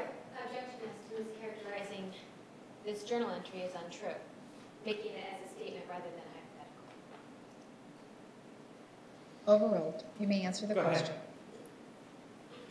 If I'm assuming this, this is untrue, Right. that it would make me look much more carefully at the other journal entries and look to the other collaborative sources. And wouldn't it ca- cast doubt then on whatever statements the defendant gave to you if they corroborated that, right? If they corroborated, What's in that journal right now? I would look at all my corroborating data, Mr. Martinez. Did, did you talk to the defendant about that particular um, trip to Havasupai? Yes, And she told you that what's in there is correct, right? correct. So if, for example, in this case, Daniel Freeman came in and testified and indicated something different than that, that would be problematic, wouldn't it? Objection mischaracterizes Mr. Freeman's testimony. Overruled. You may answer the question. Is this hypothetical? Because I have no evidence of this. Right, you, you were not here when he testified. But No. assume hypothetically that he said something different. If you uh, uh, propose a hypothetical Well, that I have no evidence of, you want me to say what I think about that hypothetical Sure, I have no evidence of? Assuming that that person came in and testified to that in this courtroom, hypothetically, all right? Yes, Under oath, all right? yes. What if Mr. Freeman came in and testified that the fight was actually started by him? Would, I want you to assume that. Objection mischaracterizes Mr. Freeman's testimony. Overruled. Assume that. Can I you do don't, that? Miss, can- Miss Arias does not say that Mr. Tre- Alexander started the fight. They I- just, that they had a fight. I, I understand that. Assume that it was Mr. Freeman that started the fight, correct? Can you assume that for me? I can. And assume that there was an argument because of something that Mr. Freeman did, correct? Can you assume that for me? Okay, you're asking me to make a lot of assumptions based Yes. on information I don't have. Absolutely, that's what I'm doing. Can you do that for me? I can go along with that. And assume those two facts, just those two facts. Those aren't written in that September 13th, 2000 entry, is it? 2007 entry, are they? No. And if they were true, wouldn't that make that entry incomplete? No, not necessarily. I mean, it's You- you not a detailed, it's not a detailed entry. It's Well- just a, Aren't you providing an excuse and aren't you siding with the defendant again, saying, no, it wouldn't make any difference what this other information that you gave me? No, I'm not saying that. Sustained. Aren't you not looking at both sides equally when you say to me, well, it wouldn't matter, in this case, those two facts that you've added? What I'm saying is that I try to look at the, the big picture. I understand you want to look at the big that picture, this, but, and that this particular ma'am, I want you to look at the small picture, September 13th of 2007. Judge, It's- she finish? No. Next question. Look just at that entry. Don't want to talk about any other entry, please. All right, With regard to that entry, if you found that it was incomplete and didn't include the reason for the fight, would, wouldn't that be important to note? it doesn't include the reason for the fight. I know it doesn't, but what if, wouldn't that indicate that it's incomplete because it doesn't indicate the reason for the fight? It's just a journal entry. I, and that journal entry means nothing to you, does it? Or it does? a standalone journal entry doesn't mean as much to me as when I look at the big picture. Right, I'm just talking about this one, and I understand what you're saying. It's, it's incomplete, I will agree with that. There's not any, any description of the fight or anything. So if it's incomplete with regard to that, and you're relying on it, it would appear that you're relying on something that's incomplete, correct? You're, I'm not sure that you're looking at how I rely on things. Well, you read it, right? Yes, I did. You put it into your brain, this brain that you use to go through this continuum of aggression, right? Objection argumentative. Overruled. Right? That I, You put that information, after reading it, assimilated it into your brain, and then made a decision based on this continuum of aggression that you talked about, right? That's what you, it's part of what you did with regard to that, right? I told you the way I used the continuum. So I'm not putting it into the continuum, I'm putting it into the big, All right, so you took big this, barrel of information that I've gotten. so you took this entry and you put it into this big barrel of information that you have, right? Correct. What if that's a cancerous, if you will, or invalid entry that you put in with the remain, with the other information that you have there? That won't affect your view or opinion in this case? Objection assumes facts not evidence. Evidence. Overruled. Anything can affect, All right, specifically here in this case, we both agree, or you agree, that the reason for the fight is not there, correct? correct. And so that's an omission on, on the writer's part, correct? To put that in there. For whatever reason, the writer didn't put it in, right? Correct. You don't know the reason why the writer didn't put it in, correct? No, I don't. It could be that it would reflect badly on the writer, right? Objection speculation. Sustained. Well, with regard to this case, assume that Mr. Freeman came in and testified that the reason that the fight started was that the, because the defendant was being unreasonable as to the items that she was going to take on the trip. I want you to assume that. Objection mischaracterizes Mr. Freeman's testimony. Overruled. Assume that. Will you do that? So I'm, you- once again, you have me assuming Yes. facts I, I have no knowledge of. Absolutely. And no evidence for. Not no evidence, you don't have any information of it. That's what I'm saying, Yeah, correct? You weren't here when Mi- Mr. Freeman testified, were you? no, I was not. So assume, for purposes of looking at that journal entry, that the reason the fight started was because the defendant was being unreasonable as to the item she was going to carry on this trek. Assume that. Objection. Mischaracterizing the testimony of Mr. Freeman. Overruled. This is a hypothetical. Assume that. Judge, I would ask That that it be placed as a hypothetical and not that Mr. Freeman came in and said those things. Sustained. Assume the hypothetical that I just gave you, please. Okay. All right? Assuming that. Wouldn't that cast doubt on the validity of that entry? Yes. And additionally, also assume, also assume, ma'am, that with regard to this fight, whatever it was, that this fight then escalated at some point and they went somewhere else, the two of them. Assume that. Can you do that? A different part of the house. Assume that hypothetically speaking. All right. It doesn't talk about them going to another part of the house in that entry, does it? No, it doesn't. It doesn't talk about what happened at the other part of the house in that entry, does it? No. And it doesn't talk about what was said between the two people, if anything was said, when they were in that room, does it? And this is all hypothetical? Hypothetically. Hypothetically, hypothetically, you're, you're giving me a lot of things that I don't have any reason to believe, but I will go with a hypothetical if that's what you want. Well, does it say anything there about anything happening in a bathroom? No, Does it say anything in that entry about anybody cursing at anybody else? no, it does not. Does it say anything else about how that argument was resolved, if it was resolved at all in the bathroom? No, So you don't have any information. That entry is an example of something that is very incomplete, right? Yes, And so, did you talk to the defendant about this?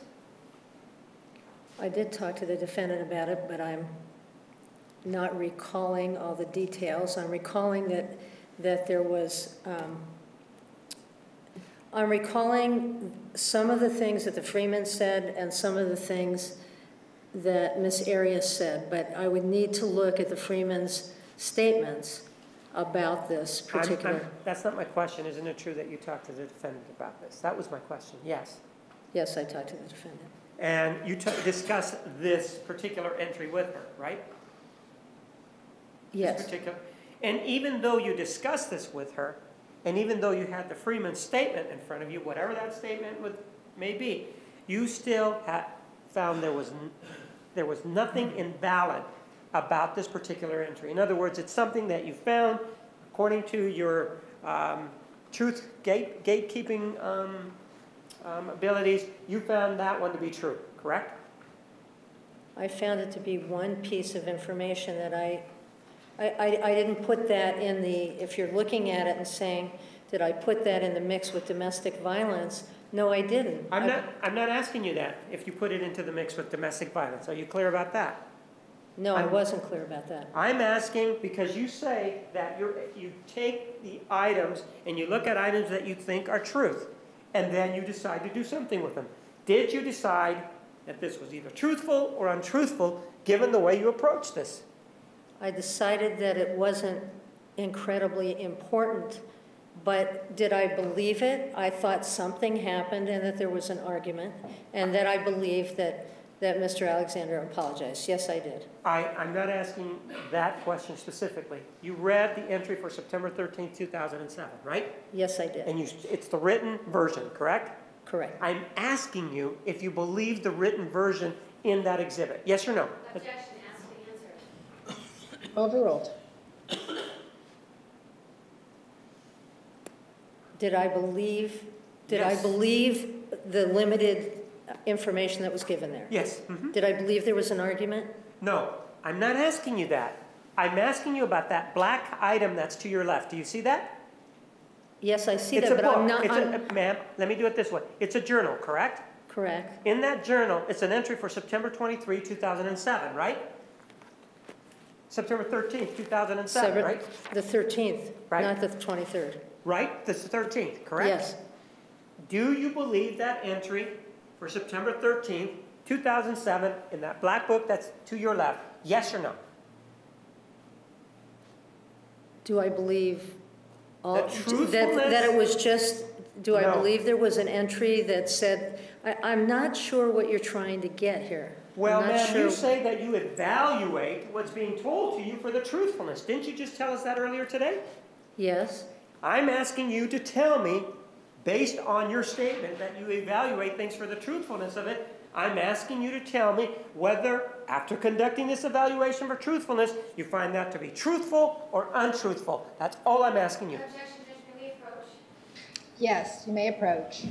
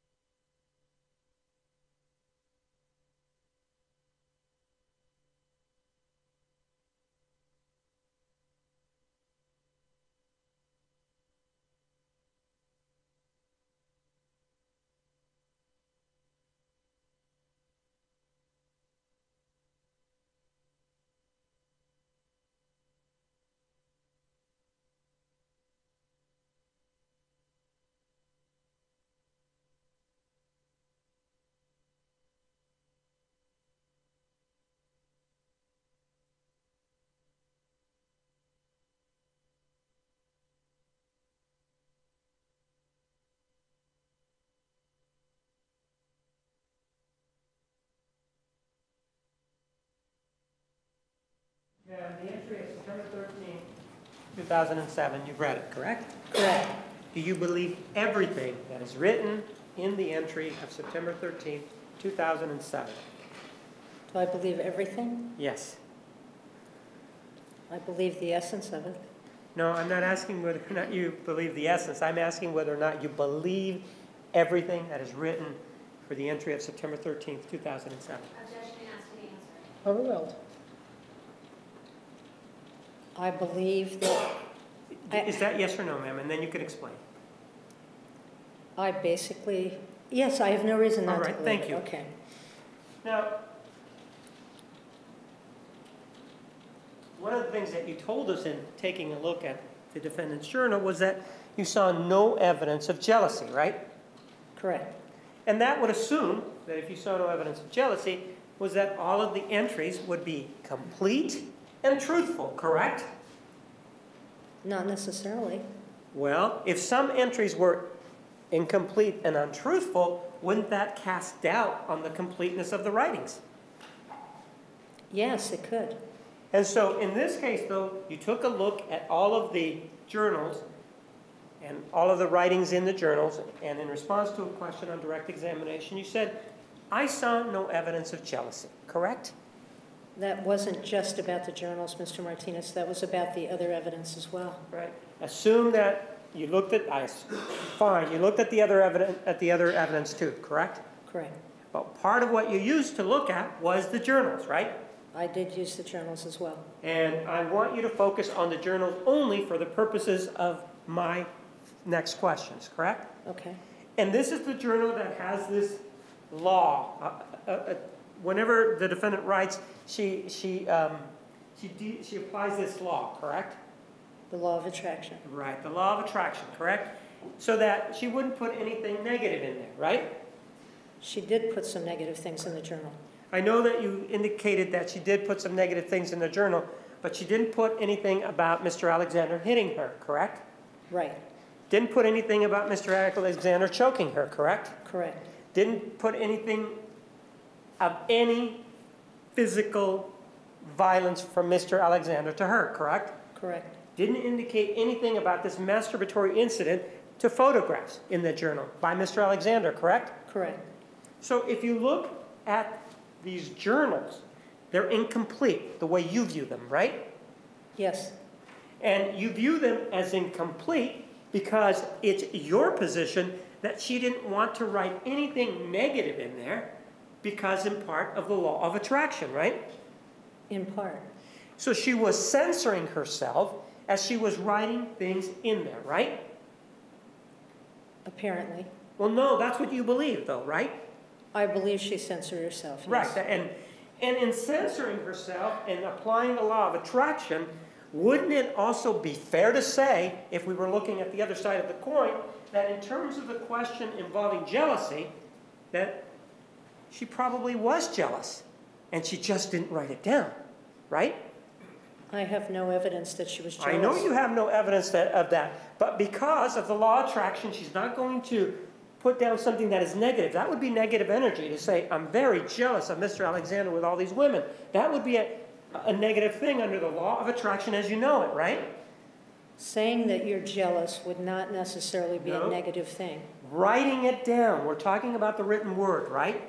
Saying that she, saying that she was jealous would not, would not interfere with the law of attraction. Saying that maybe she wanted to handle the jealousy, that would be, she could do that within those parameters. So, so being jealous, incredibly jealous, that's a good thing, Objection is characterized as your testimony.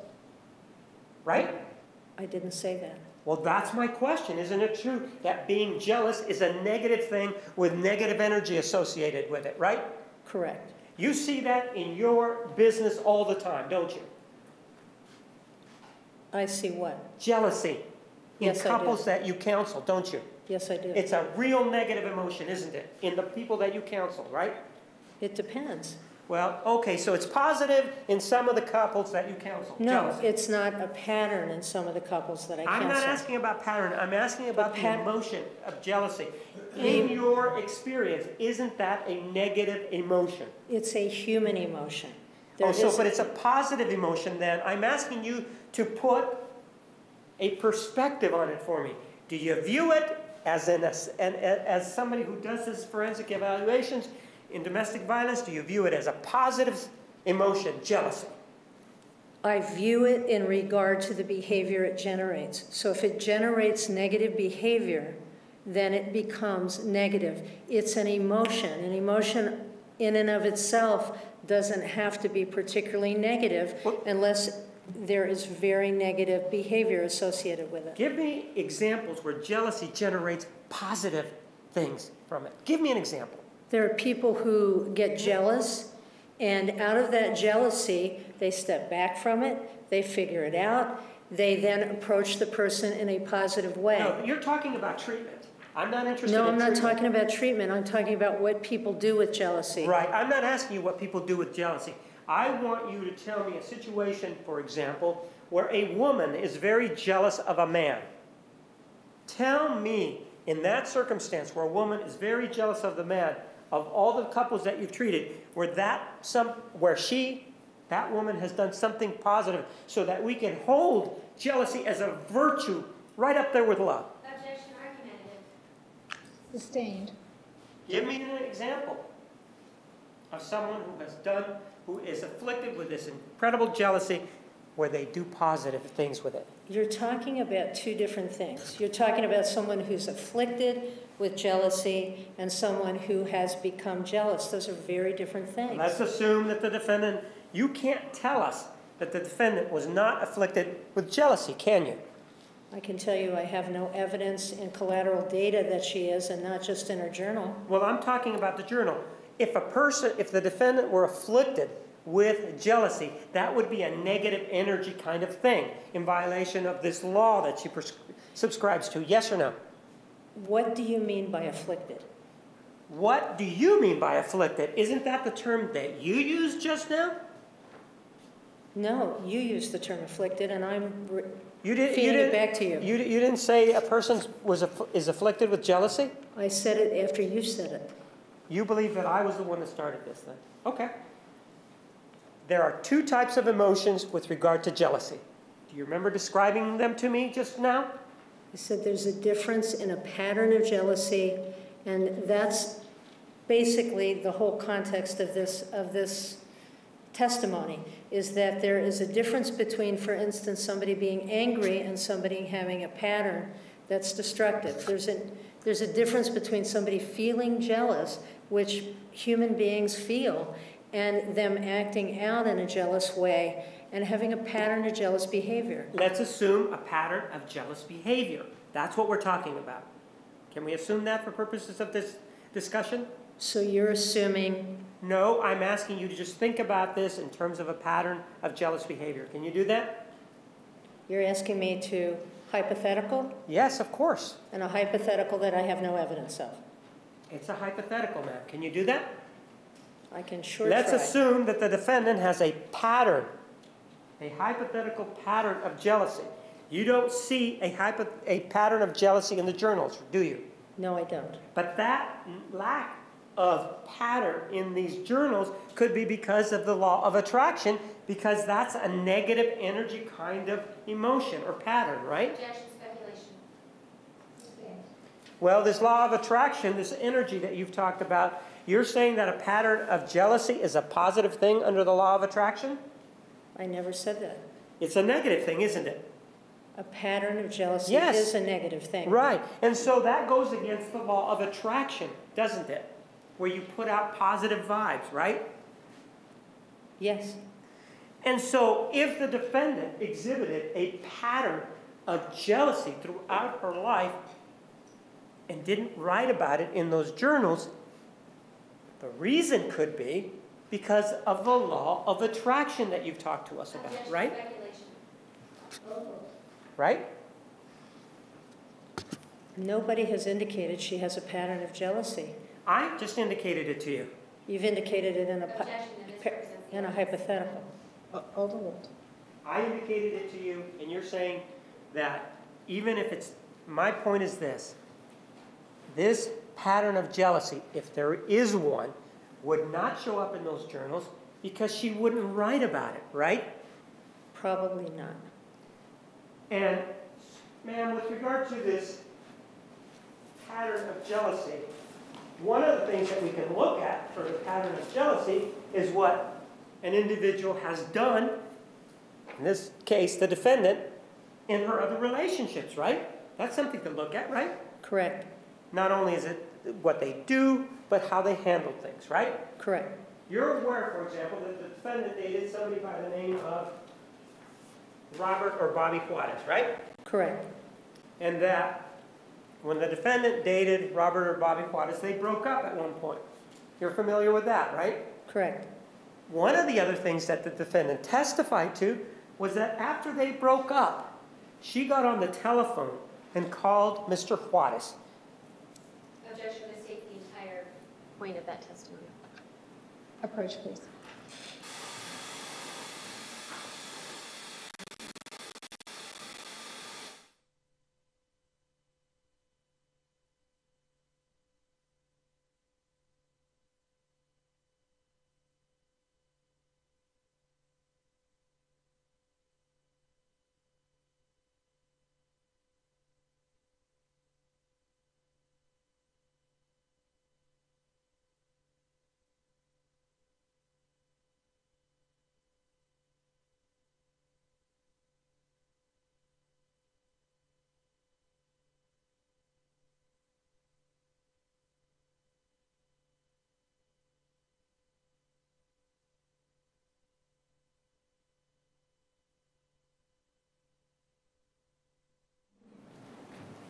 She, there, she and Mr. Juarez broke up.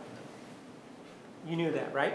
Correct, After they broke up, the defendant was working at a restaurant. You're aware of that, right? I don't remember. If, if not, assume that that's what she testified to, okay? Okay, And she also testified that after the breakup, an older gentleman with a dog-eared Bible came into her restaurant. Assume that. Can you do that? All right. Do you know anything about it? No, I don't. And when she came, when this individual came in, the defendant testified that this individual was prophesizing the end of the world. Do you know anything about that? No, Assume it then. And according to the defendant, because this individual came in talking about the end of the world, she decided to pick up the phone and call Bobby Juarez. Did you know anything about that? No. That's what she testified to.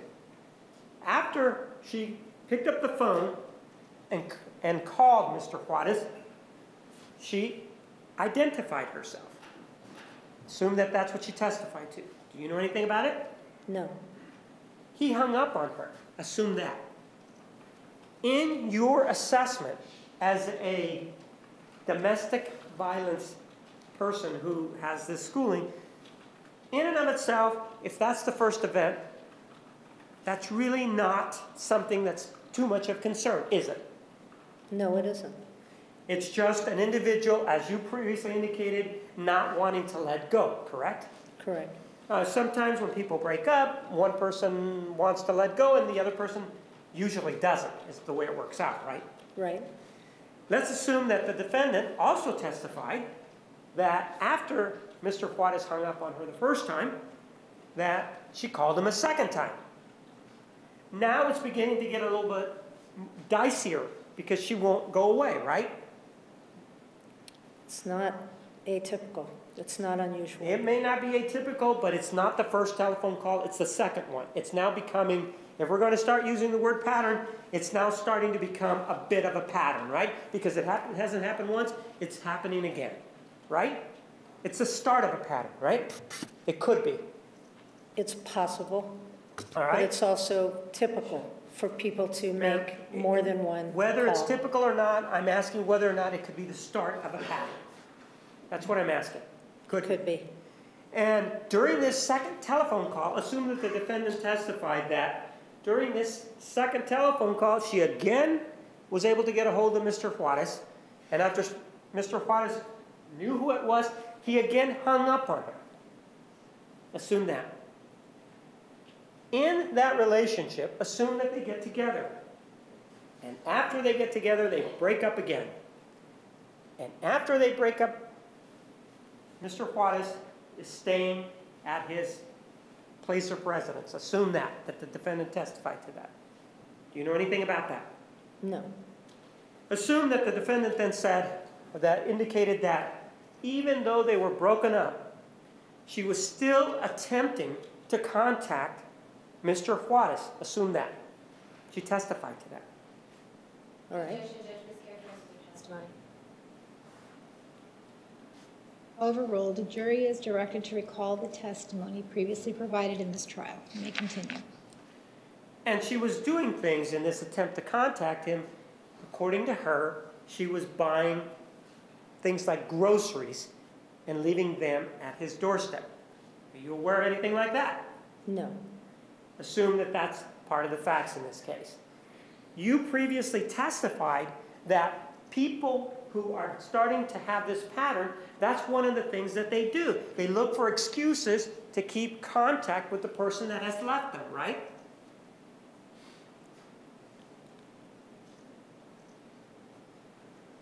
Different situation at the end of a relationship.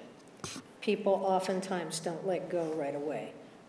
But I, I, I'd want to see how far it went and, and, I'm, I'm, What? te- I'm You're telling you tell how me. far it went. That's what the defendant testified to. all right, That she left things like groceries at his doorstep.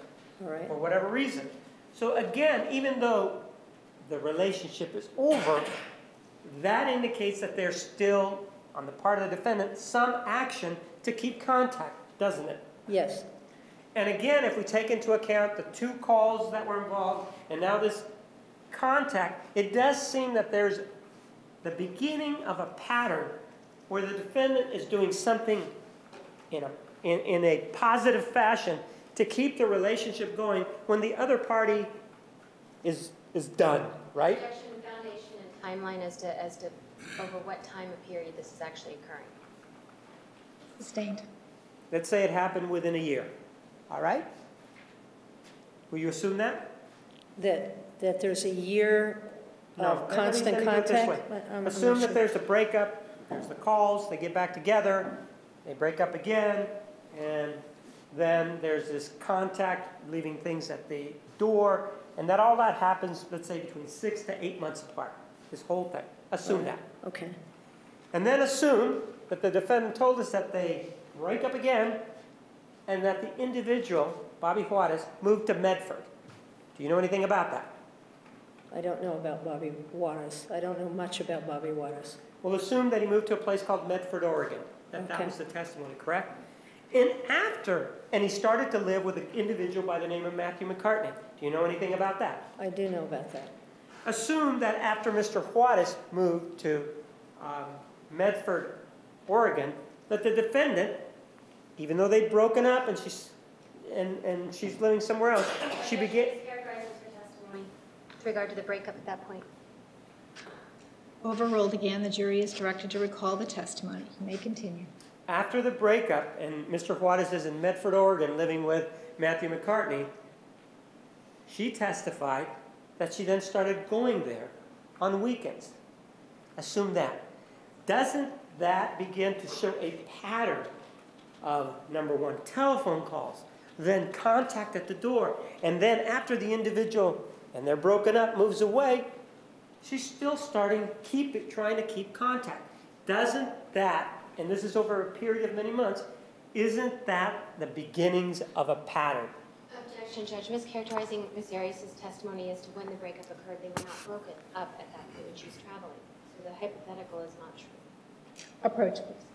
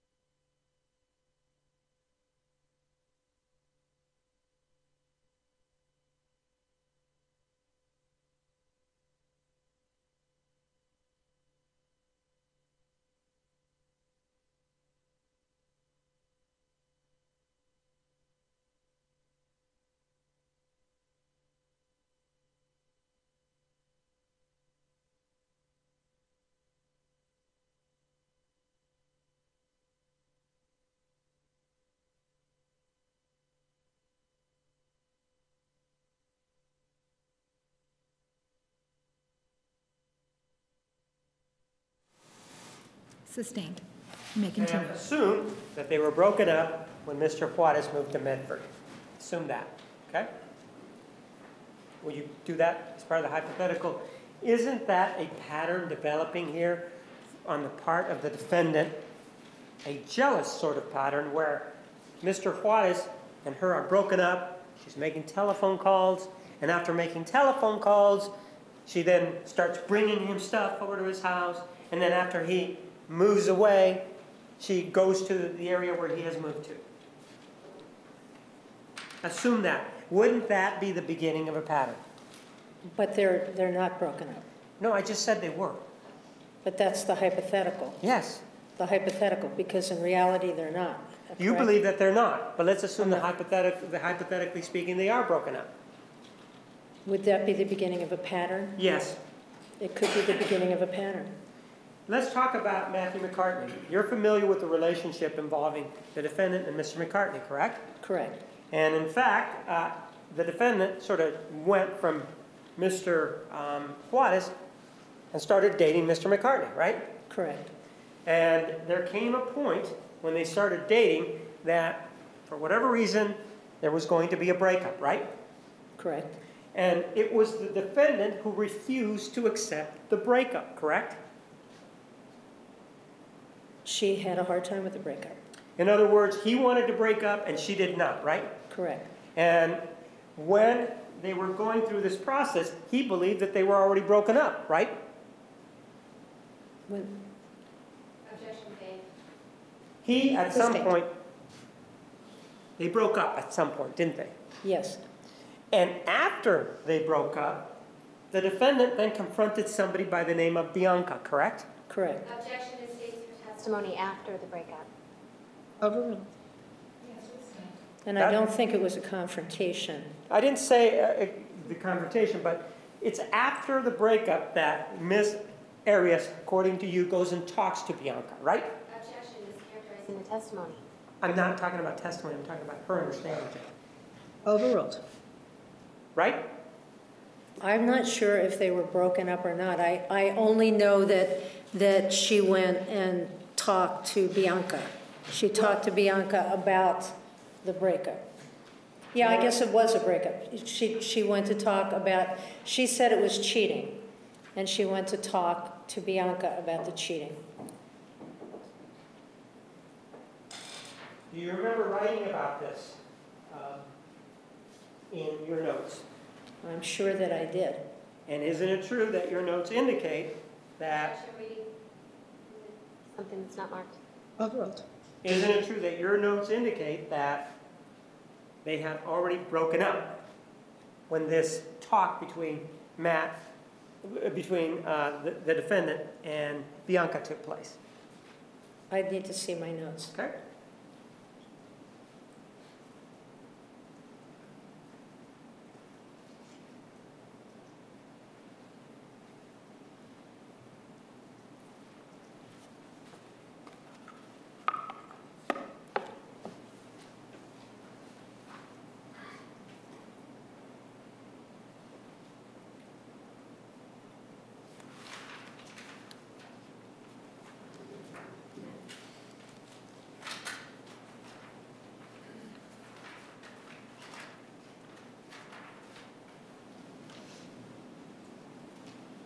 Take a look at Exhibit 613.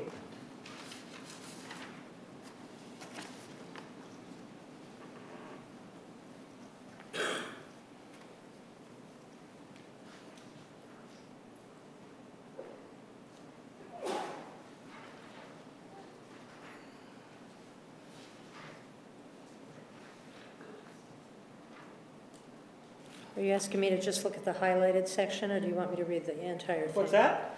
Do you want me to just read the highlighted section or the entire thing? Uh, I want you to focus on the highlighted section, and then if you want, read the whole thing.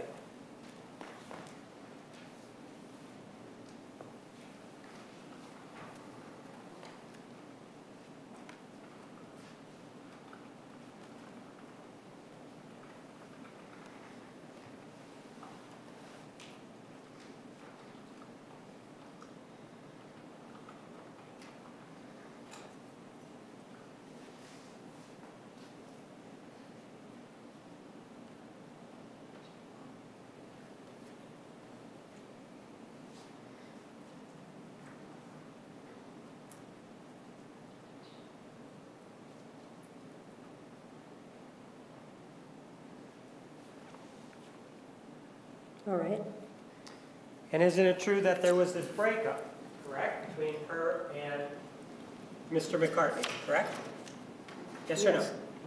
And isn't it true that it was after this breakup that there was this conversation between the defendant and Bianca, correct? Correct. Isn't that part of a pattern of jealous behavior in confronting somebody? It didn't sound like a confrontation either by um, Mr. McCartney or Miss Arias. It sounded like she went and had a talk with her, maybe clarified, I don't know. Uh, But, but I didn't get the jealous behavior. I got the, the going to talk to someone. It wasn't, if it was real jealous, it seems like it would have been more confrontational. So, It's um, not described that way. Mr. McCartney wasn't present for that one, was he? No, but he said it wasn't. Right. And it was based on what the defendant told him, right? I would told- suspect he talked to Bianca as well. Pardon? I would suspect he talked to his own girlfriend about it. Again, now you're assuming, because it's to the benefit of the defendant, that Mr. McCartney spoke to Bianca. You don't know that, do you? I know that Mr. McCartney said that it wasn't uh, advers- Right. an adversarial situation. Right. And the, the issue with that is he wasn't present, correct? No, he wasn't. Any information he would have received would have come either from the defendant or perhaps from Bianca, if he spoke with Bianca, correct? Correct, So anything that he knows, he knows secondhand, correct? correct. And after this confrontation, isn't it true that the defendant went at some point, shortly after that, and slept in Mr. McCartney's bed without his permission? Yes, Again, isn't that, given, in light of what happened with Mr. Juarez, and in light of what's happening here with uh, Mr. McCartney, doesn't that suggest to you a pattern of jealousy? it it it suggests a pattern of having a very difficult time letting go. But she's not controlling anyone with her jealousy. She's not controlling them. Okay, let me show, let me talk to you about another example.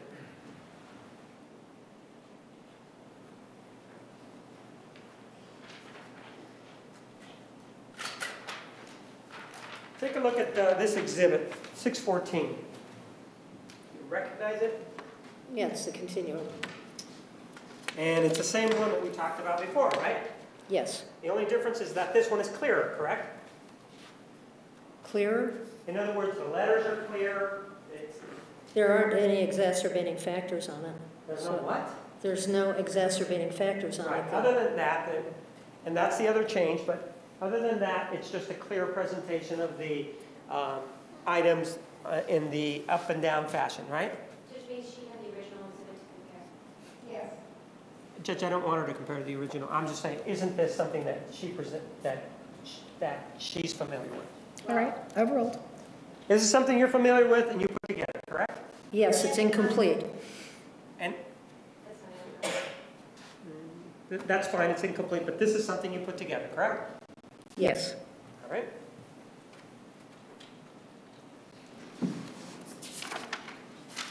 I move for the admission of Exhibit 614.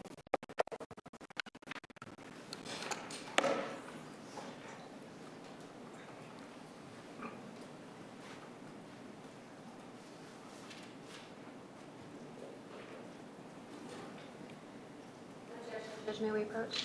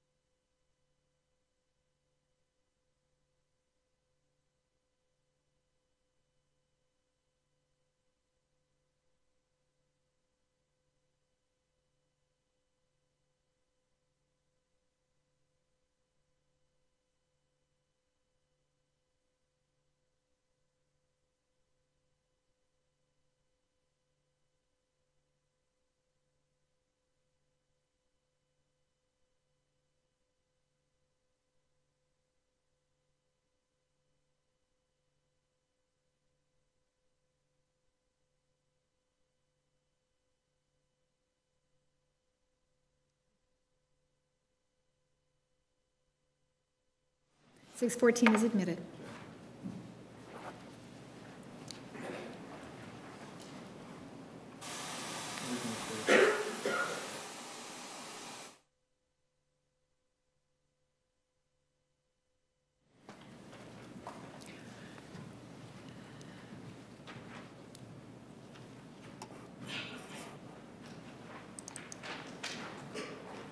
Now, you indicated that that was, with regard to the, what we've been talking about, the defendant, that that was not necessarily a pattern of jealousy, correct?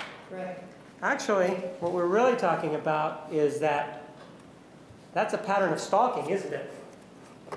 No, it isn't. Well, she's gone and contacted Bobby Juarez on the telephone two times after the breakup, right? She has. And she's left things at his door after they've broken up, correct? Stalking implies fear. Yes or no? Stalking implies Yes fear. or no? Incorrect. She's Stalking is about fear. Yes, what's the objection? The objection is she clearly cannot answer the question with a yes or no answer. All right. Overruled. Restate your question. Isn't it true that she, with regard to Mr. Juarez, she left things in, uh, at his doorstep, correct? I- Yes. And isn't it true that with regard to Mr. McCartney, one of the things that she did is that she went and spoke to the person that she believed that he was seeing, correct? Correct. And then she slept in his bed, right? She did. And with regard to Mr. Alexander, isn't it true that one of the things that you know with regard to the Reagan Housley uh, um, instant messaging was that Mr. Alexander was exceedingly afraid because of the defendant's stalking behavior? Overruled. You may, I don't know that he's exceedingly afraid. I don't get, Ju- Judge, may I then ask her the, well, I think we'll need to approach him. Yes, all right. Ladies and gentlemen, we're going to take the evening recess. During the break, did you have an opportunity to look at your schedules for the dates I indicated earlier? Let's start with this Friday, April 12th, from 9:30 to 12:30. Is there anyone who could not be here from 9:30 to 12:30 this Friday? All right, thank you. Please plan to be here. For April 26th, from 9 to 4, is there anyone who could not be here? Thank you, please plan to be here. Now, May 3rd, it appears we may not need that date, but is there anyone who has a problem with that date? Excuse me. All right, please keep that on your calendar as well. All right, please remember the admonition, have a nice evening tomorrow morning, 9:30. Have a nice evening.